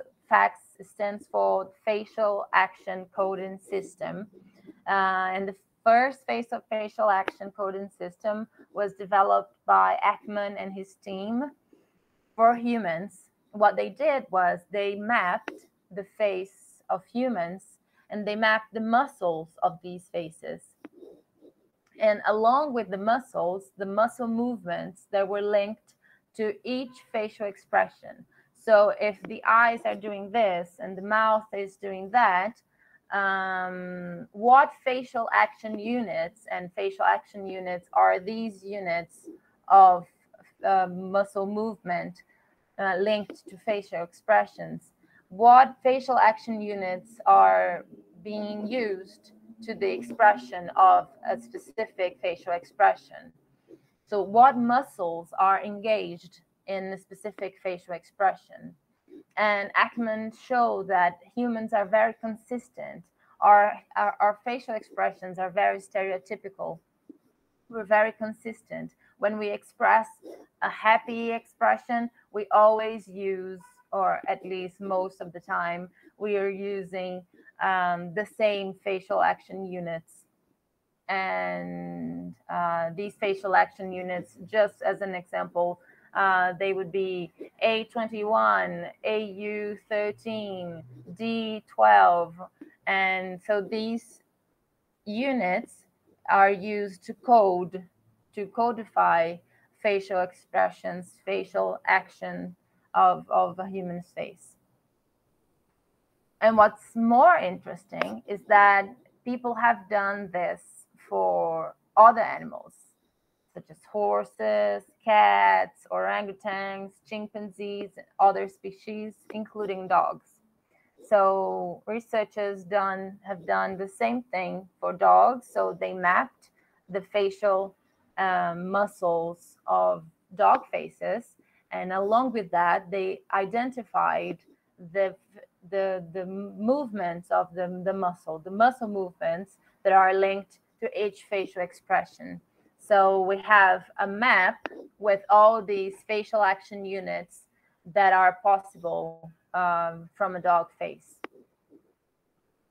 from a dog's face. Sorry. Um, and for uh, some some studies have been using dog facts to study facial expressions, emotional expressions in dogs.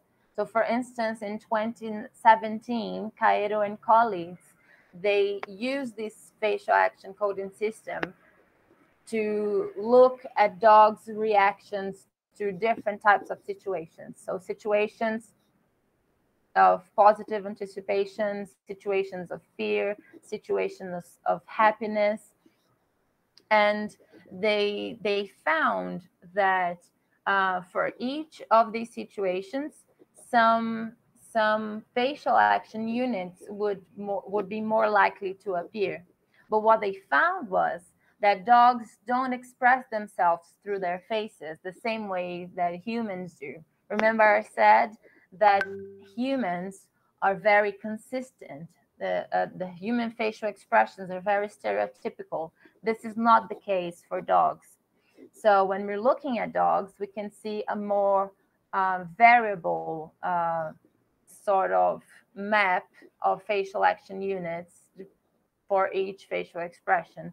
For instance, the mouth licking behavior, uh, which is shown here as the AD37 or the AD137. Uh, mouth licking can occur in a positive anticipation situation, but it can also appear in a fearful situation, and it can even be exhibited in a happy situation. So this means that dogs show facial expressions, they have facial expressions, they have we can we can look at these facial expressions through the facial action coding system. However, they are less consistent than humans. So we must pay attention to that. And more recently, just one second, another sip of water.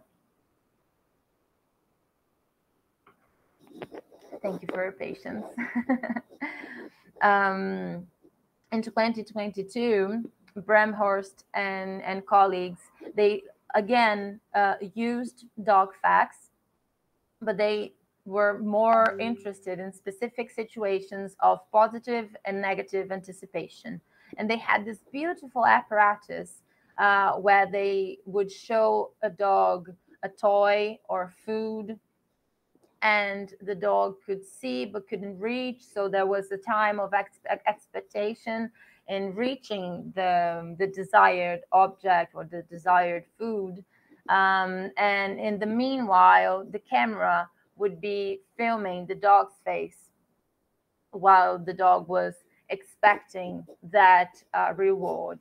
Um, and what they found was that uh, following the, the, the findings of Caeiro and uh, and colleagues, uh, 2017, they found that dogs, um, the same facial expression could occur in different contexts and within the same context, um, a facial expression could or could not occur.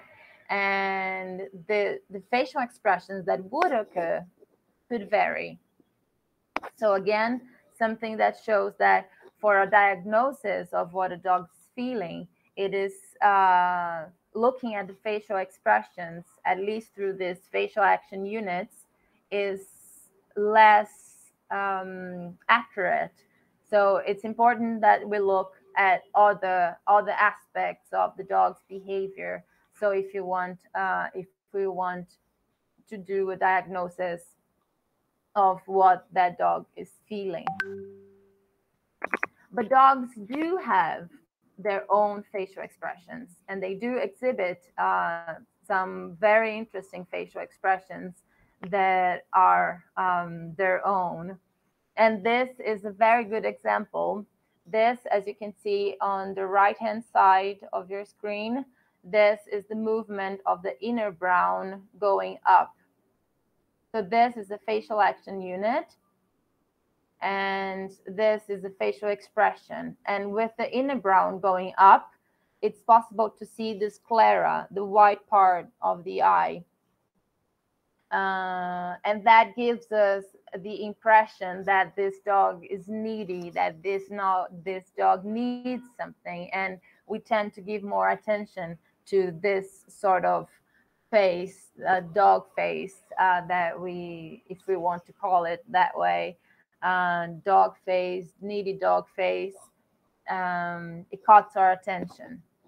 And what Waller and colleagues found in 2013 was that when dogs are in a shelter, in a shelter environment, dogs that do this facial expression more often were adopted faster than dogs that didn't show this uh, facial expression or that showed it less often. That's huge. Can you imagine a dog being adopted faster because it shows, it exhibits, it exhibits um, a facial expression that a specific facial expression? That's huge. But there was a lot of discussion about the results of this, of this, not the results, but about the conclusions of this paper, because the authors would argue that the the dogs had uh, that this facial expression for dogs um, had uh, the function of had a function like an adaptive function. And they and it served um, this function as as an adaptive advantage as dogs that showed it showed this facial expression had more success than the dogs that didn't. But all other authors would say no this could be circumstantial. This could be due to other aspects that we're not we're not tackling. Um, so there was a lot of discussion around these conclusions. But in 2019, Kaminski and colleagues mapped the, the muscle structure of the face of dogs and wolves. And for this inner brow going up, for this needy dog face, there are two important muscles involved the RAOL and the LAOM this one up here and this one on the side. And what mm. Kaminski and colleagues found was that these muscles are present in dogs, but are not present in wolves. Again, fantastic. so there must have been something during domestication that allowed dogs to have more success if they did, if they used this facial expression. That it's only possible due to this these two muscles. So the, the animals that did this uh, facial expression, they had more success, they had more adaptive advantages than dogs that didn't. And these dogs were positive selected, uh, maintaining uh, the, the structure of the face and developing the structure of the face in a way that now we have these muscles very well structured in dog faces, but we don't have them in wolf faces. But it's not only about facial expressions. Dogs also communicate their emotions through other aspects, through other ways. Remember that I said that um, the emotion emotional expressions are multimodal so here we have a difference on sensory modality that is engaged in communication of emotional information um, that is vocalizations. If you think of barks, growls, um, whines, and so many other vocalizations of dogs, um, now we know that these vocalizations are context dependent and they are uh, full of information and th that this information is provided through these vocalizations, these vocalizations, and will reach the other individuals that will be able to then discriminate, categorize, recognize the emotional expression from another dog. And we even know that humans, and this is very interesting, humans can do that and discriminate facial, uh, sorry, I, I, I, talked so much about facial expressions that I don't know if I will be able to just forget about this, this, uh, these words. Um, but so um, now we know that humans are able to discriminate these context dependent vocalizations because they're so consistent that um, that we can do that uh, just by listening to a dog without seeing them. And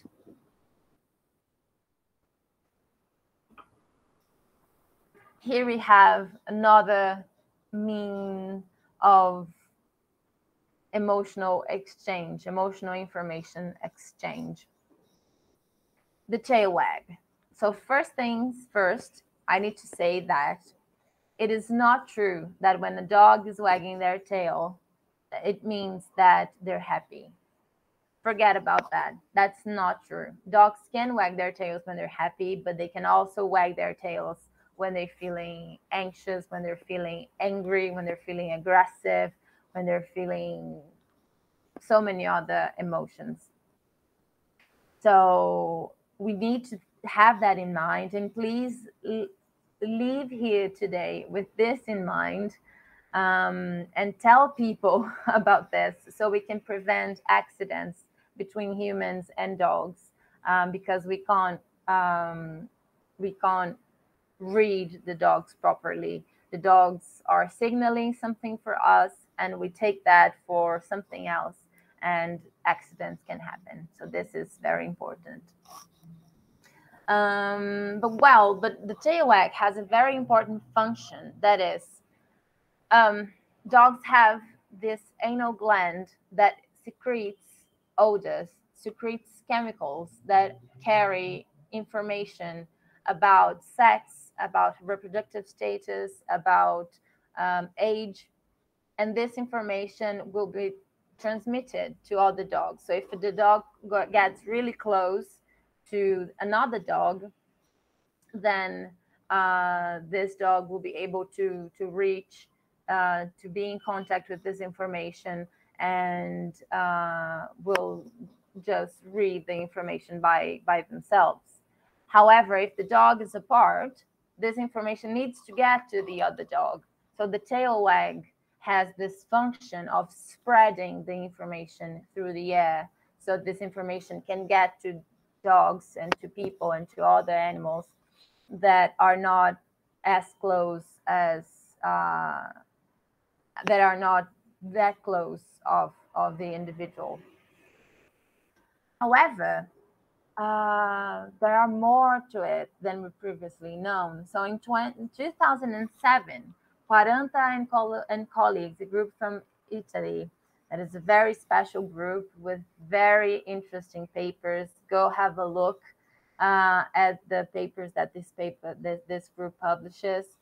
Uh, they found that when dogs were presented to different stimuli, positive, negative, or neutral, the dogs would wag their tails in different ways depending on the valence of the stimuli, whether if it was positive or it was negative.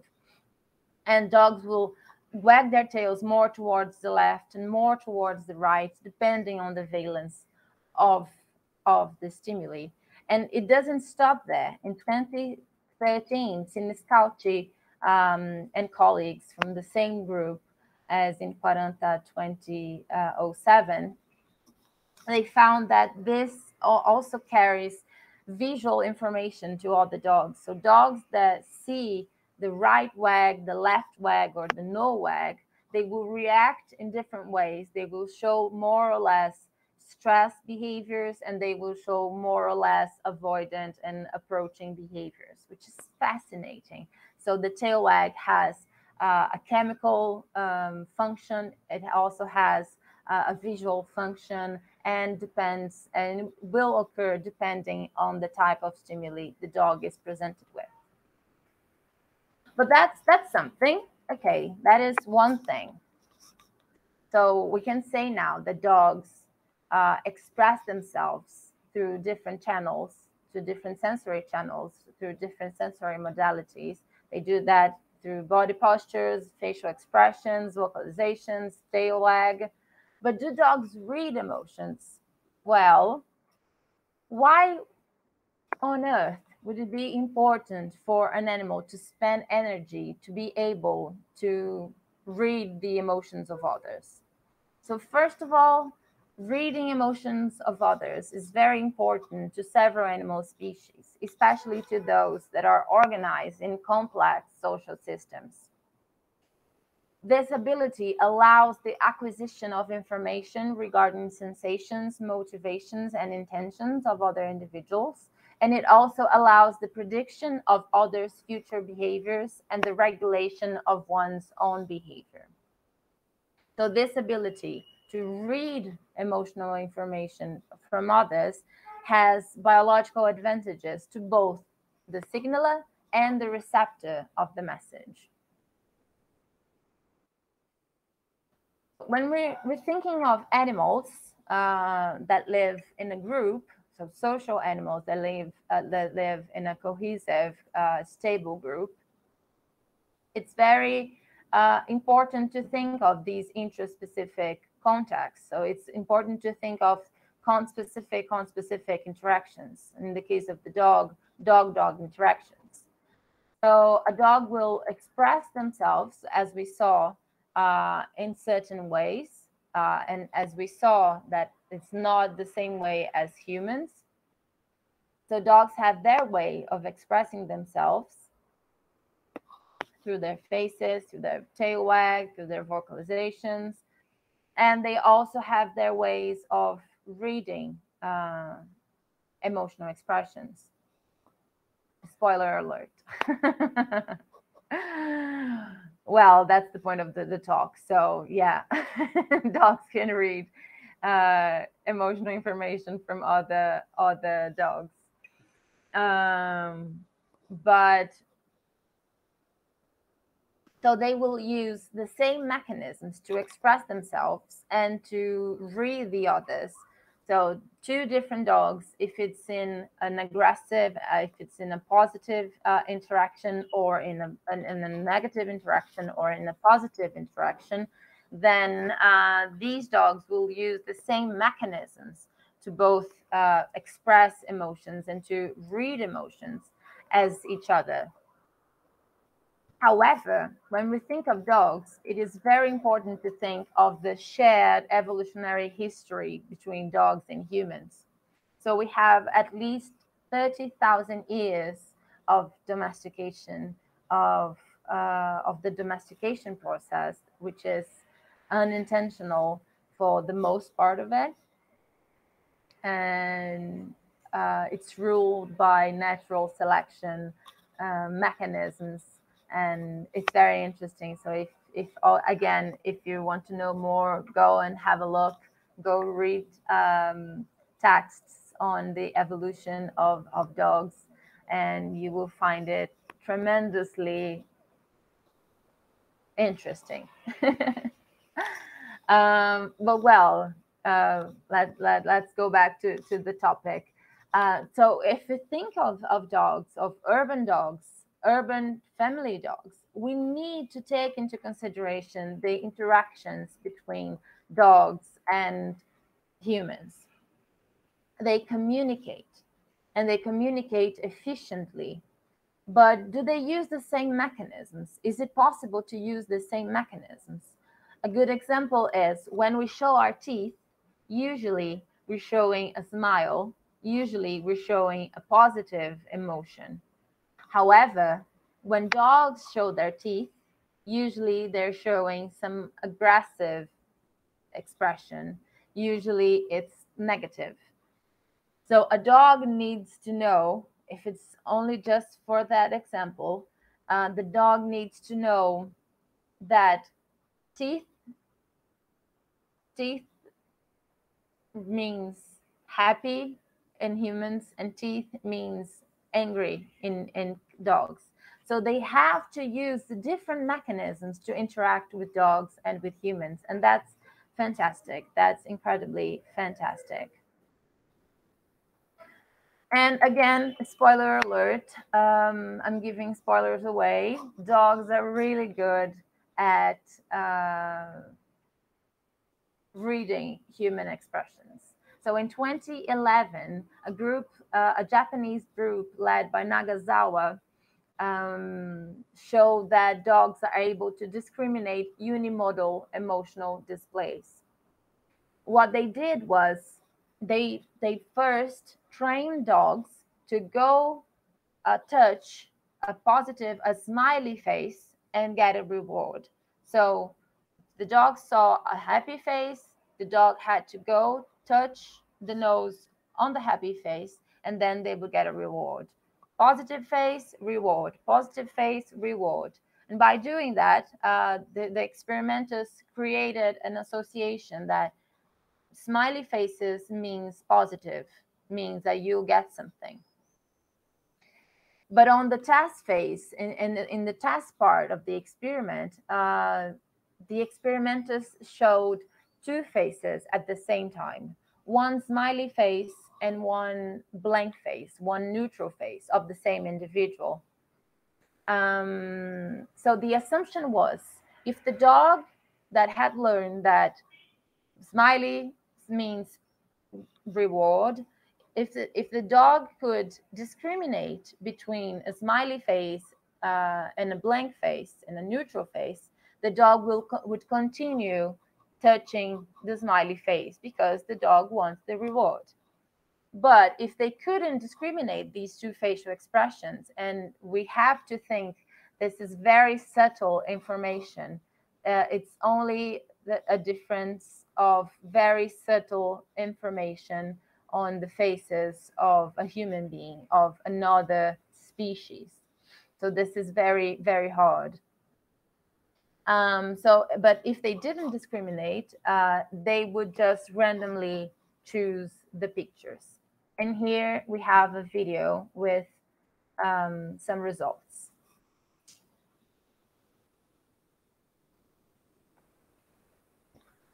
There on the left, uh, we have the smiley face, and on the right, the blank face.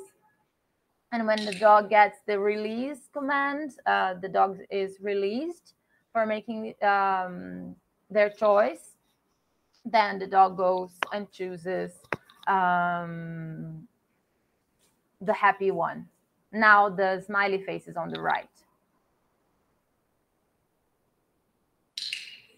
And the dog goes towards uh, the correct answer. And then in 2015, uh, a group from Vienna, now led by Müller, um, they found that dogs are able to associate different parts of the same facial expressions. So what they did, they used this very sophisticated uh, apparatus uh, with a touch screen and uh, they wanted to see if dogs could associate the bottom half of uh, a happy face facial expression with the upper half of a happy facial expression and the bottom half of an angry facial expression with the upper half of an angry facial expression and to do that to investigate that they first trained dogs uh, there were two, two groups of dogs one that were trained uh, that was trained with the bottom half of faces and another that was trained with the upper half of faces. Uh, so let's take the bottom half uh, of faces as an example.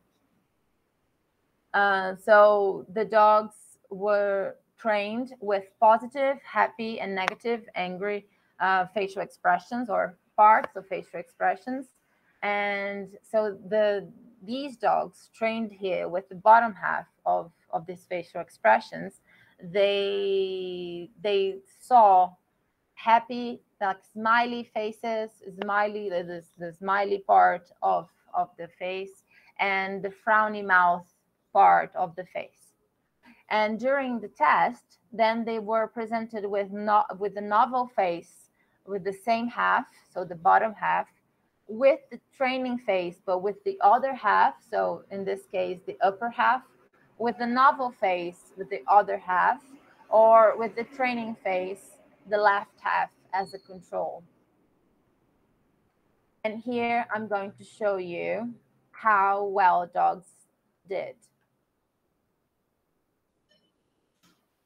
So this apparatus uh, had uh, an automatic dispenser, a treat dispenser, and every time that the dogs got right, got the answer right, the dispenser would automatically um, liberate a treat and the dogs would continue. And when the dogs don't get it right, then a, a red screen comes up and you can see the frustration of the dog like what? I was i was doing so well. And i must say to you that i would never be able i'm not the brightest human being on earth but i would never be able to do such things so fast as this dog for example. So they were really good at associating uh, different parts of the same facial expression as one whole facial expression. This is very complex and very interesting. And uh, a bit later in 2016, our group uh, found that dogs are able not only to discriminate and to categorize facial expressions, but also to recognize emotional expressions, not only through faces, but also through voices or vocalizations. So what we did was we presented dogs with this cross-modal experimental setup using both voice and image at the same time, voice and face at the same time. So we had two screens, and on each screen there was uh, the, the the picture, the photograph of an individual. That could be a dog or it could be a human, it could be female or male. Um, and then on each screen, the same individual would be presenting different opposing facial expressions. So for dogs, playful, aggressive facial expressions, and for humans, happy and negative and angry facial expressions. And at the same time, we played the sound, a sound that could be either positive, negative, or neutral from the same individuals. So uh, if in this case that you're seeing now, if there was the presentation of uh, dog faces, then the, the sound would be a bark. Uh, and if there was a presentation of um, a human, then the, the, the, the sound would be the, the person saying something uh, in an angry uh, or in a happy way. And in this sort of paradigm uh, for humans, we expect, and humans are really good at this, uh, we expect that dogs, that humans will look longer towards the angry face upon hearing the negative bark, the angry bark, and they will uh, they would look longer to the happy dog face when listening to the um, happy bark. So the people will look longer towards the congruent stimuli.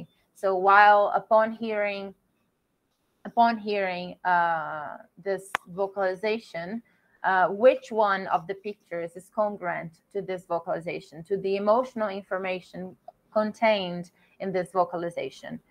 So, and then the human will look longer towards the congruent one. As I said, we used images and sound, male, female, dog, and human. Here's a video showing what happened. that was the presentation of the, the images on the screen. The dog was sitting in front of the screen looking at the, the faces. You can see that the dog looks left, looks right, uh, looks at one screen, looks at another.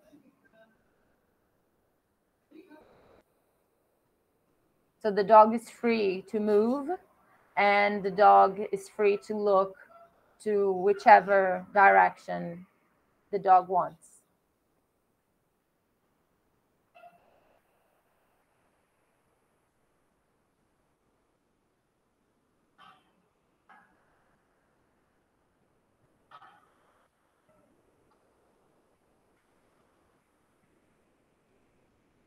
So as I said, um, people will look longer towards the congruent one. So we we measured the the looking direction of the dog uh, during the presentation of the stimuli. So if it was towards the left screen, the right screen, or towards the center.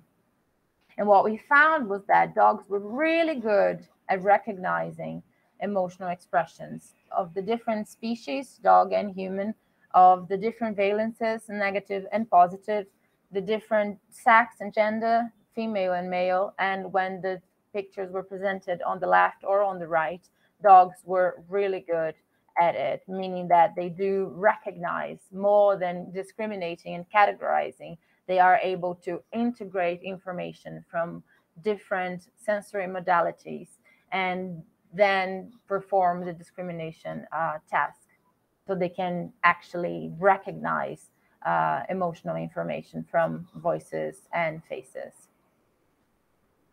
And we also found that dogs respond to emotional expressions. And for uh, looking at that, we use the mouth licking behavior that we already talked about today. This behavior here that you're all familiar with, I'm sure. Um, it's, it's a behavior that is linked to stress but there was no evidence that the behavior was uh, linked to the perception of something negative. So uh, it could be that a stressful animal, a stressed animal, I'm sorry, uh, animal could be salivating more, and then because it, the dog is salivating more, then is the dog would lick his own mouth. Um, but that maybe had nothing to do with the perception of something negative. And what we did was we used the same paradigm looking at the looking behavior and also at the mouth licking behavior uh, during the presentation of the stimuli. And it's very important to say that there was no training or no reinforcement. So the dogs were not expecting to receive a treat or to receive any sort of food uh, because they were doing this or that during um, the, um, the test. And what we found was there was an image effect. Surprisingly, there was no sound effect and there was a species effect. So mouth licking was exhibited more towards negative human facial expressions, meaning that this response is emotion, species, and sensory modality dependent which is very interesting and says a lot about um, emotion perception and the response uh, and emotional responding, if we can say that. And more recently, and now we're moving towards the end of this talk, more recently in 2021, our group found that dogs are able of doing more when it comes to the emotional expressions of humans. They're able to infer the emotional state of a person. So by looking at a person's um, behavior, uh, dogs can infer what that person is feeling and knowing the consequence that a, a person, the behavior of a person would have. So if a person is behaving in a positive manner, the consequence of their this behavior would be positive. And the consequence of a negative behavior would also be negative. So dogs can do that which is fantastic and really complex. So for this study we had uh, two actors these two beautiful girls here uh, which is are not only beautiful girls but are really bright people and very very good scientists, and I have the pleasure to working with them. So they were the two unfamiliar actors. No, none of the dogs knew the none of these uh, these actors, and they so they interacted with each other in a silent manner. So there was no sound. So this is unimodal, but there was the and a very intense exhibition of facial expressions of emotions through facial expressions. They would interact with each other in a silent way. Then they would uh, during this uh, interaction they would respond in a positive negative or neutral way. For positive was happy negative was angry neutral was neutral uh, way and then they would sit quietly, neutrally uh, on two stools, as you can see on the pictures on the right-hand side of the screen. Um, and there was two possibilities. One would be the direct condition, where dogs could uh, they were holding each one ball of food with with the with treats on it in it um, and these uh, this situation would allow the dog to go straight to the to the bowl and to get the food by themselves. And another uh, possibility was the indirect condition where the bowl with food was on a table in between the two actors. They were not holding it and the dog could see it but couldn't reach it. So this in this situation the dog would need to ask the human for access to the food. So these are very different uh, conditions. And here is the uh, schematic um, experimental setting. So we have the two actors here, the table, a camera here, a camera there, experimenter, uh, who was me, uh, standing here. The owner uh, was always with the dog. So the dog would watch these two actors interact with each other in a positive, negative, or neutral way, then the actors would sit on stools and um, and then wait for the dog to do whatever the dog wanted. And the dog had 30 seconds to move freely around the room and to do whatever the dog wanted um, in relation to any part of the of the experimental area. And here is what we found. Dogs are very good readers of human emotional expressions, but they go way beyond associating a smiley face with a reward and a frowny face with being told off. Well, we, Professors Briseida Resende, Daniel Mills, Kun Guo, Anna Wilkinson, and I, Natalia Albuquerque, have just discovered that dogs can infer the emotional state of a person and use this information when solving problems. In our study, published in the journal Animal Cognition, dogs watched two unfamiliar persons interact in a positive, negative, or neutral way. Right after, they were presented with some delicious food that they could either reach by themselves or had to ask the humans for help we found that dogs preferred to interact with the person that had shown happy expressions and avoided the one had shown angry expressions. Even more interesting, this happened more when they had to use the persons to get to the food, meaning that they were taking the emotional state into account during decision making. These are fascinating findings about the remarkable cognitive abilities of dogs and we hope they will help scientists and non scientists to better understand dogs. So we know a lot, but, but there's so much more to be investigated. And that is why I invite all of you to get closer to this topic. So if you're interested, get in touch, uh, go um, search for people that do this sort of this sort of studies and just be in touch with this topic with this theme and yeah there's so much more to know we already know a great deal but there's so much more to be investigated and to be discovered. And with that, I wanted to thank the organizing committee of this uh, international meeting of behavior, evolution, and uh, ecology. I don't know if I told if I said it.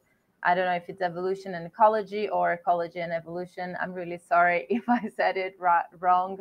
Um, I would also like to thank Professor Fabio Presotto, um, and I would like to just thank you all for your patience, for your attention. I hope you enjoyed it. And uh, last but not least, I want to thank the uh, funding agencies that allowed me to conduct, to pursue my dreams and conduct these research. And uh, to thank the, the labs uh, which I'm collaborative with, with uh, which I collaborated, uh, I collaborate to um, LEDIS, the Laboratory of Ethology, Development, and Social Interaction, and LECA, the Laboratory of Canine Ethology. Uh, these are my contact information. Feel free to contact me and to follow me and to just reach out for a conversation. And that's it. Thank you very much. I'm open for open for questions. Obrigada. Okay. Hi. Thank you, Natalia by the very nice presentation. It's uh, fantastic. Uh, some any questions? Uh, the first is from Vilmara de Oliveira. Uh, really, she have two questions. Emotions and feelings are different things. Can we say that animals have feelings too? and uh, about the face muscles of animals here you showed us mammals who about birds reptiles etc uh, they have facial expression of emotions too thank you so much for this amazing lecture doutora natalia thank you so much for your very interesting questions. They're really, really interesting questions. So the first one, feelings and emotions. Uh, so whether feelings and emotions are different things, are the same things, and what they are, if they're different, um, it's an open topic. Uh, we still don't know how to answer this, and this will vary greatly on the discipline uh, we're talking about. So if it is uh, on a more social area or more biological or psychological area, um, people will say different things. But uh, from my perspective, feelings are um, related to what the animals feel. So they related to sentience. So what they they feel, and this is the same. So when we talk about sentience, uh, we're saying that animals have sensations such as pleasure and pain, and they possess emotions. So they can feel things. So these are feelings. And then the emotions would be these psychological processes, not psychological processes, but these psychological phenomena that uh, that are linked, intrinsically linked to to feelings but uh, involve all the psychological processes that are not um, that are not um, part of of feeling something. Uh, but this is very interesting and we can talk more about that if you want. I hope i, I answered uh, just uh, at least i gave uh, a, a small glimpse of of this discussion. But but yeah so animals would have feelings and emotions but we still don't know if they're different things uh, at least from my perspective if they're different things uh, and what they are specifically but i i imagine that uh, feelings are related to sentience and to what a, uh, an individual can actually feel uh, and emotions are related to the psychological phenomena that involve uh, other psychological processes as well. And it's a very interesting question about uh, whether reptiles and birds and amphibians would have uh, facial expressions. So uh, it is it's not long uh, until people thought that only primates had emotional expressions or had facial expressions because primates have uh, a repertoire or of facial expressions that are that is bigger, that is more complex than uh, non-primate species. But then we started to see that dogs have facial expressions, that cats ha cats have facial expressions, that horses have facial expressions. So, well, mammals possibly in general have facial expressions. And I would say that it's not far from discovering that other species or other groups of animals also have facial expressions. Uh, we just need to really try to understand uh, what facial expressions could be or could mean to these other uh, to these other animals. Um, but yeah, uh, as for my question, we still don't know if they have facial expressions but I think in it, it's not long until we find that they do have facial expressions. It's my personal opinion. Okay, thank you. Another question from Cassia Malta. Thank you for excellent presentation. What is the most challenging in studying dogs' emotions?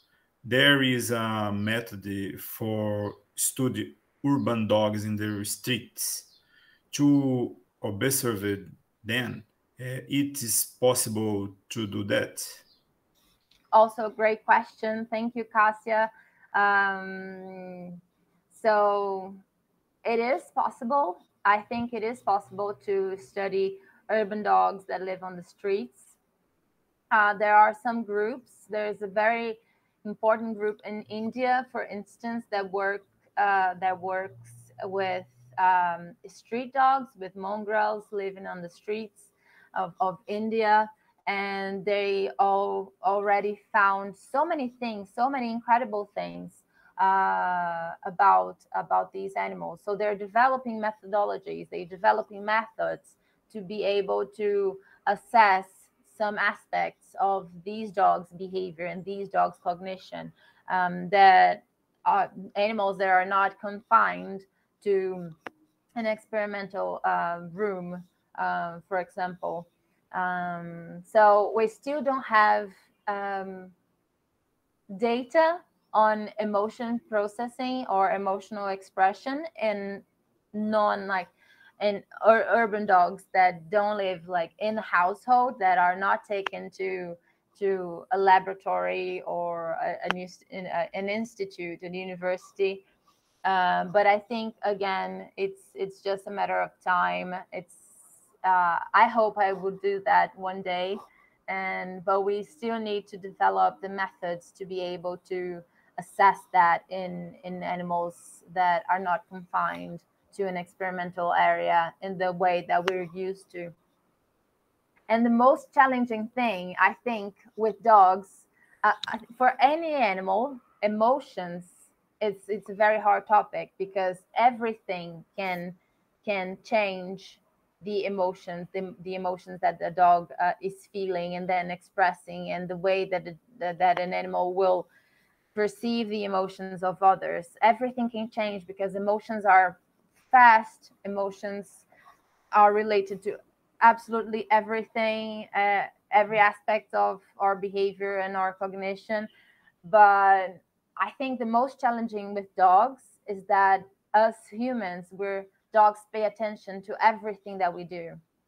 And they're very sensitive to our behavior. So we need to be extra careful when we're working with dogs so that we don't uh, influence their behavior or their response.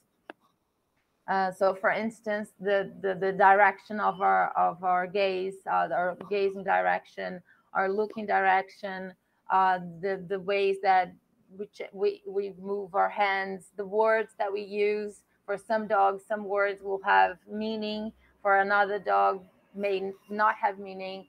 But then we need to control for that. So I think the presence, the human presence for dogs, is the most challenging uh, thing when we when we're working with urban um, family dogs. Yeah. Thank you. Another question from Pedro Mendes.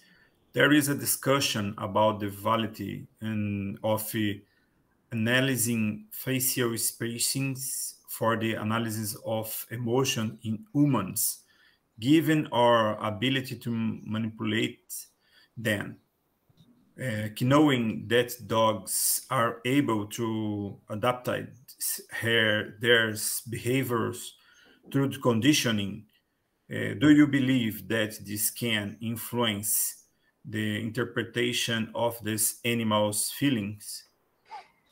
Very nice question. Um, again, very complex one. So, uh, we can manipulate our facial expressions. Um, we can lie, and we will lie if the opportunity is given um, about our feelings, and for many reasons. But we will lie. Um, but we don't know. We still don't know if animals can lie. This is the first thing we still don't know if animals have this ability to lie. This is one thing. And the other thing, uh, I don't believe that no one, no single person in, in, the whole world is capable of conditioning a dog to feel or to express themselves in, in a given way, uh, especially through facial expressions, because it's so complex and it's so subtle and it's not the same thing as it is for humans. And uh, especially when we think um, so yeah this is it's a very complex it's a very complex question because if we think that we still as researchers we still don't know uh, how dogs express themselves through their faces uh, so we're still just starting to understand how they do because it's different uh, than human than in humans. Then I don't think uh, one person would be able to condition a dog to express in one way or the other. Um, at, maybe one day that would be possible, but I don't think now any any uh, any dog in the world. I don't think no dog in the world uh, were has been conditioned to express themselves through a specific way. Um, I don't think that's possible, at least not now. But but the first thing is that we still don't know that animals can lie. So we still don't know if an animal is feeling something, if the animal can hide or can manipulate their emotional expressions, uh, not to deliver the message that it truly uh, it truly is. Okay, thank you. A question from Maria Guilhermina Pedrosa. Congratulations on your lecture, Natalia. Are there students reporting the expression of emotions in relation to mourning uh, among non-humans animals when they lose their, tutors?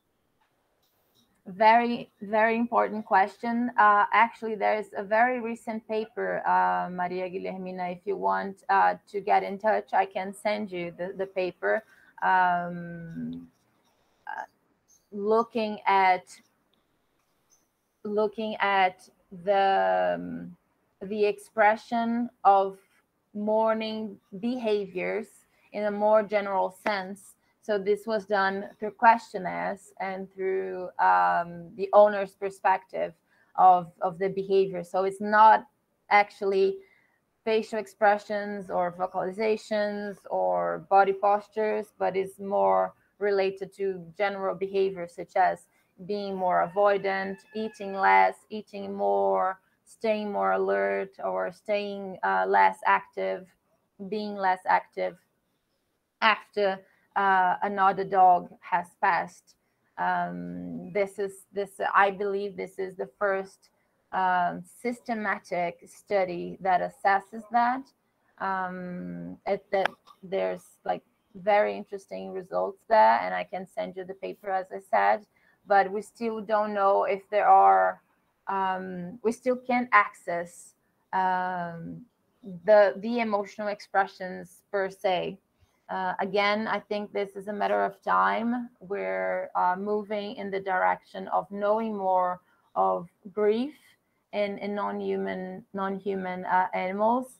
Uh, we have a lot of anecdotal uh, um, observations, but we're beginning to have more systematic studies on this topic. So I think it's again a matter of time that we will have the methods, uh, the ways of um, addressing this question for at least for dogs. I think dogs will be the first animal um, to be taken into consideration uh, when it comes to grief.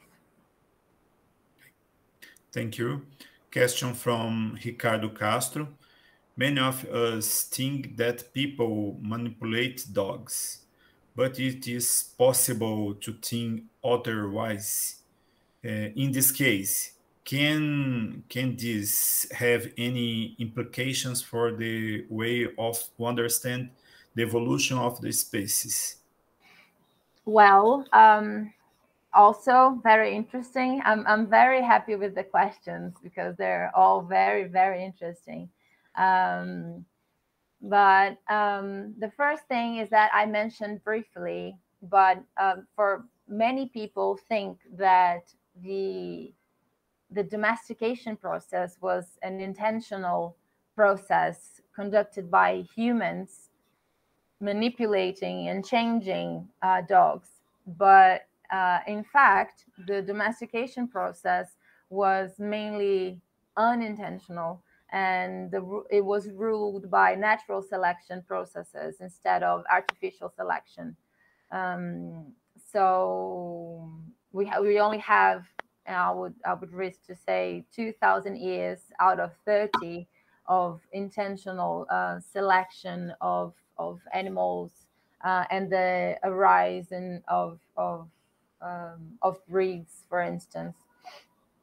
Um, so i think this is this is very important for this question because it, it may change the way that we uh, make our assumptions that uh, we're manipulating and changing dogs to do something and the dogs don't have their ecological value and they're only uh, a, a product of of our intentions but that is not the case. But the second thing is that uh, some some some kinds of training have been trying to manipulate uh, dogs' emotions and to suppress dogs' emotions in order that, to them uh, to perform something or to be quieter or to start barking, to stop barking or to doing something else. Um, but these attempts to suppress dogs, uh, to suppress feelings, to suppress emotions uh, of dogs um, studies have been showing that these these attempts they are um, mistaken. Uh, they don't occur the way that the trainer wants it to occur. First of all, it's it's negative training, and we shouldn't do it in, uh, any way. But uh, if we were to do it, and it's not the case again, but if we were to do it, um, when we try to suppress dogs, uh, uh, an emotion of a dog at a certain point, this will generate uh, uh, a cascade of other emotions. And so, if you want to, there's you have an aggressive dog, um, you have an angry dog, for example, and you try to suppress that. This will uh, this will generate, uh, for instance, fearful emotions fearful states. So we have been trying to manipulate them uh, recently, but I don't think we can actually do it. We have been trying, but the results are not good. And there are some things that we just can't control. And uh, I think, yeah, I think people have been trying, but we just we just can't. Um, control animals to feel their uh, own emotions. You can try to uh, redirect them, but yeah, it will lead to something else. Thank you. Okay, question from Maria Guilhermina again. Uh, can we relate an emotionality and personality temperament in not human animals to animals? That's a fantastic question. So, when we're talking about temperament, we're talking about emotions because uh, personality is is a different thing. But when we're talking about temperament, um, we have to consider emotions. Usually we don't, but we have to because uh, the the different patterns that we'll find, the different ways of responding to stimuli, to different stimuli, are absolutely related to how animals perceive and react to to, to the world. And they are actually emotionally driven responses. So we have to consider emotions. So emotionality and temperament is they they come together they come together and uh, we must start taking into consideration reading more and knowing more about emotions when we when we talk about temperament um, for personality it's a bit different of course there is a relationship between emotionality and personality but uh, there are more aspects that uh, composes uh, that compose um, what personality is, uh, social social aspects, cultural aspects, and and so on. Um, so it's not as close as to emotionality as temperament is, but uh, yeah, it's it's absolutely related, and we need to start uh, looking more at uh, emotions when we talk about temperament. Okay. Thank you. No more questions. Uh, again, thank you so much by the lecture. Um, do you speak in more? I'm, I'm, I'm okay. Uh, actually, I, I think I, I talked uh, uh, too much already, but I'm, I'm just really happy to be here and to have this opportunity. And I want to congratulate all the all the people that asked questions because they were all very interesting, complex questions. And I think I wish we could have more time, then we could extend our or uh, my answer my answers. But I'm really happy with what happened here and yeah and i'm open to to having more conversations about the topic with whoever is interested in continuing. Um, so, so yeah, once again, I would like to um, congratulate um, the event, to congratulate the people who were um, watching and participating. And I hope you enjoyed it. I hope I could I could uh, contribute with your event. And thank you Professor Fabio Prezoto and all the organizing committee of this international meeting. Thank you. Thank you again. Um, the activities of the morning are closed and I will uh, will be back 2 p.m. Goodbye.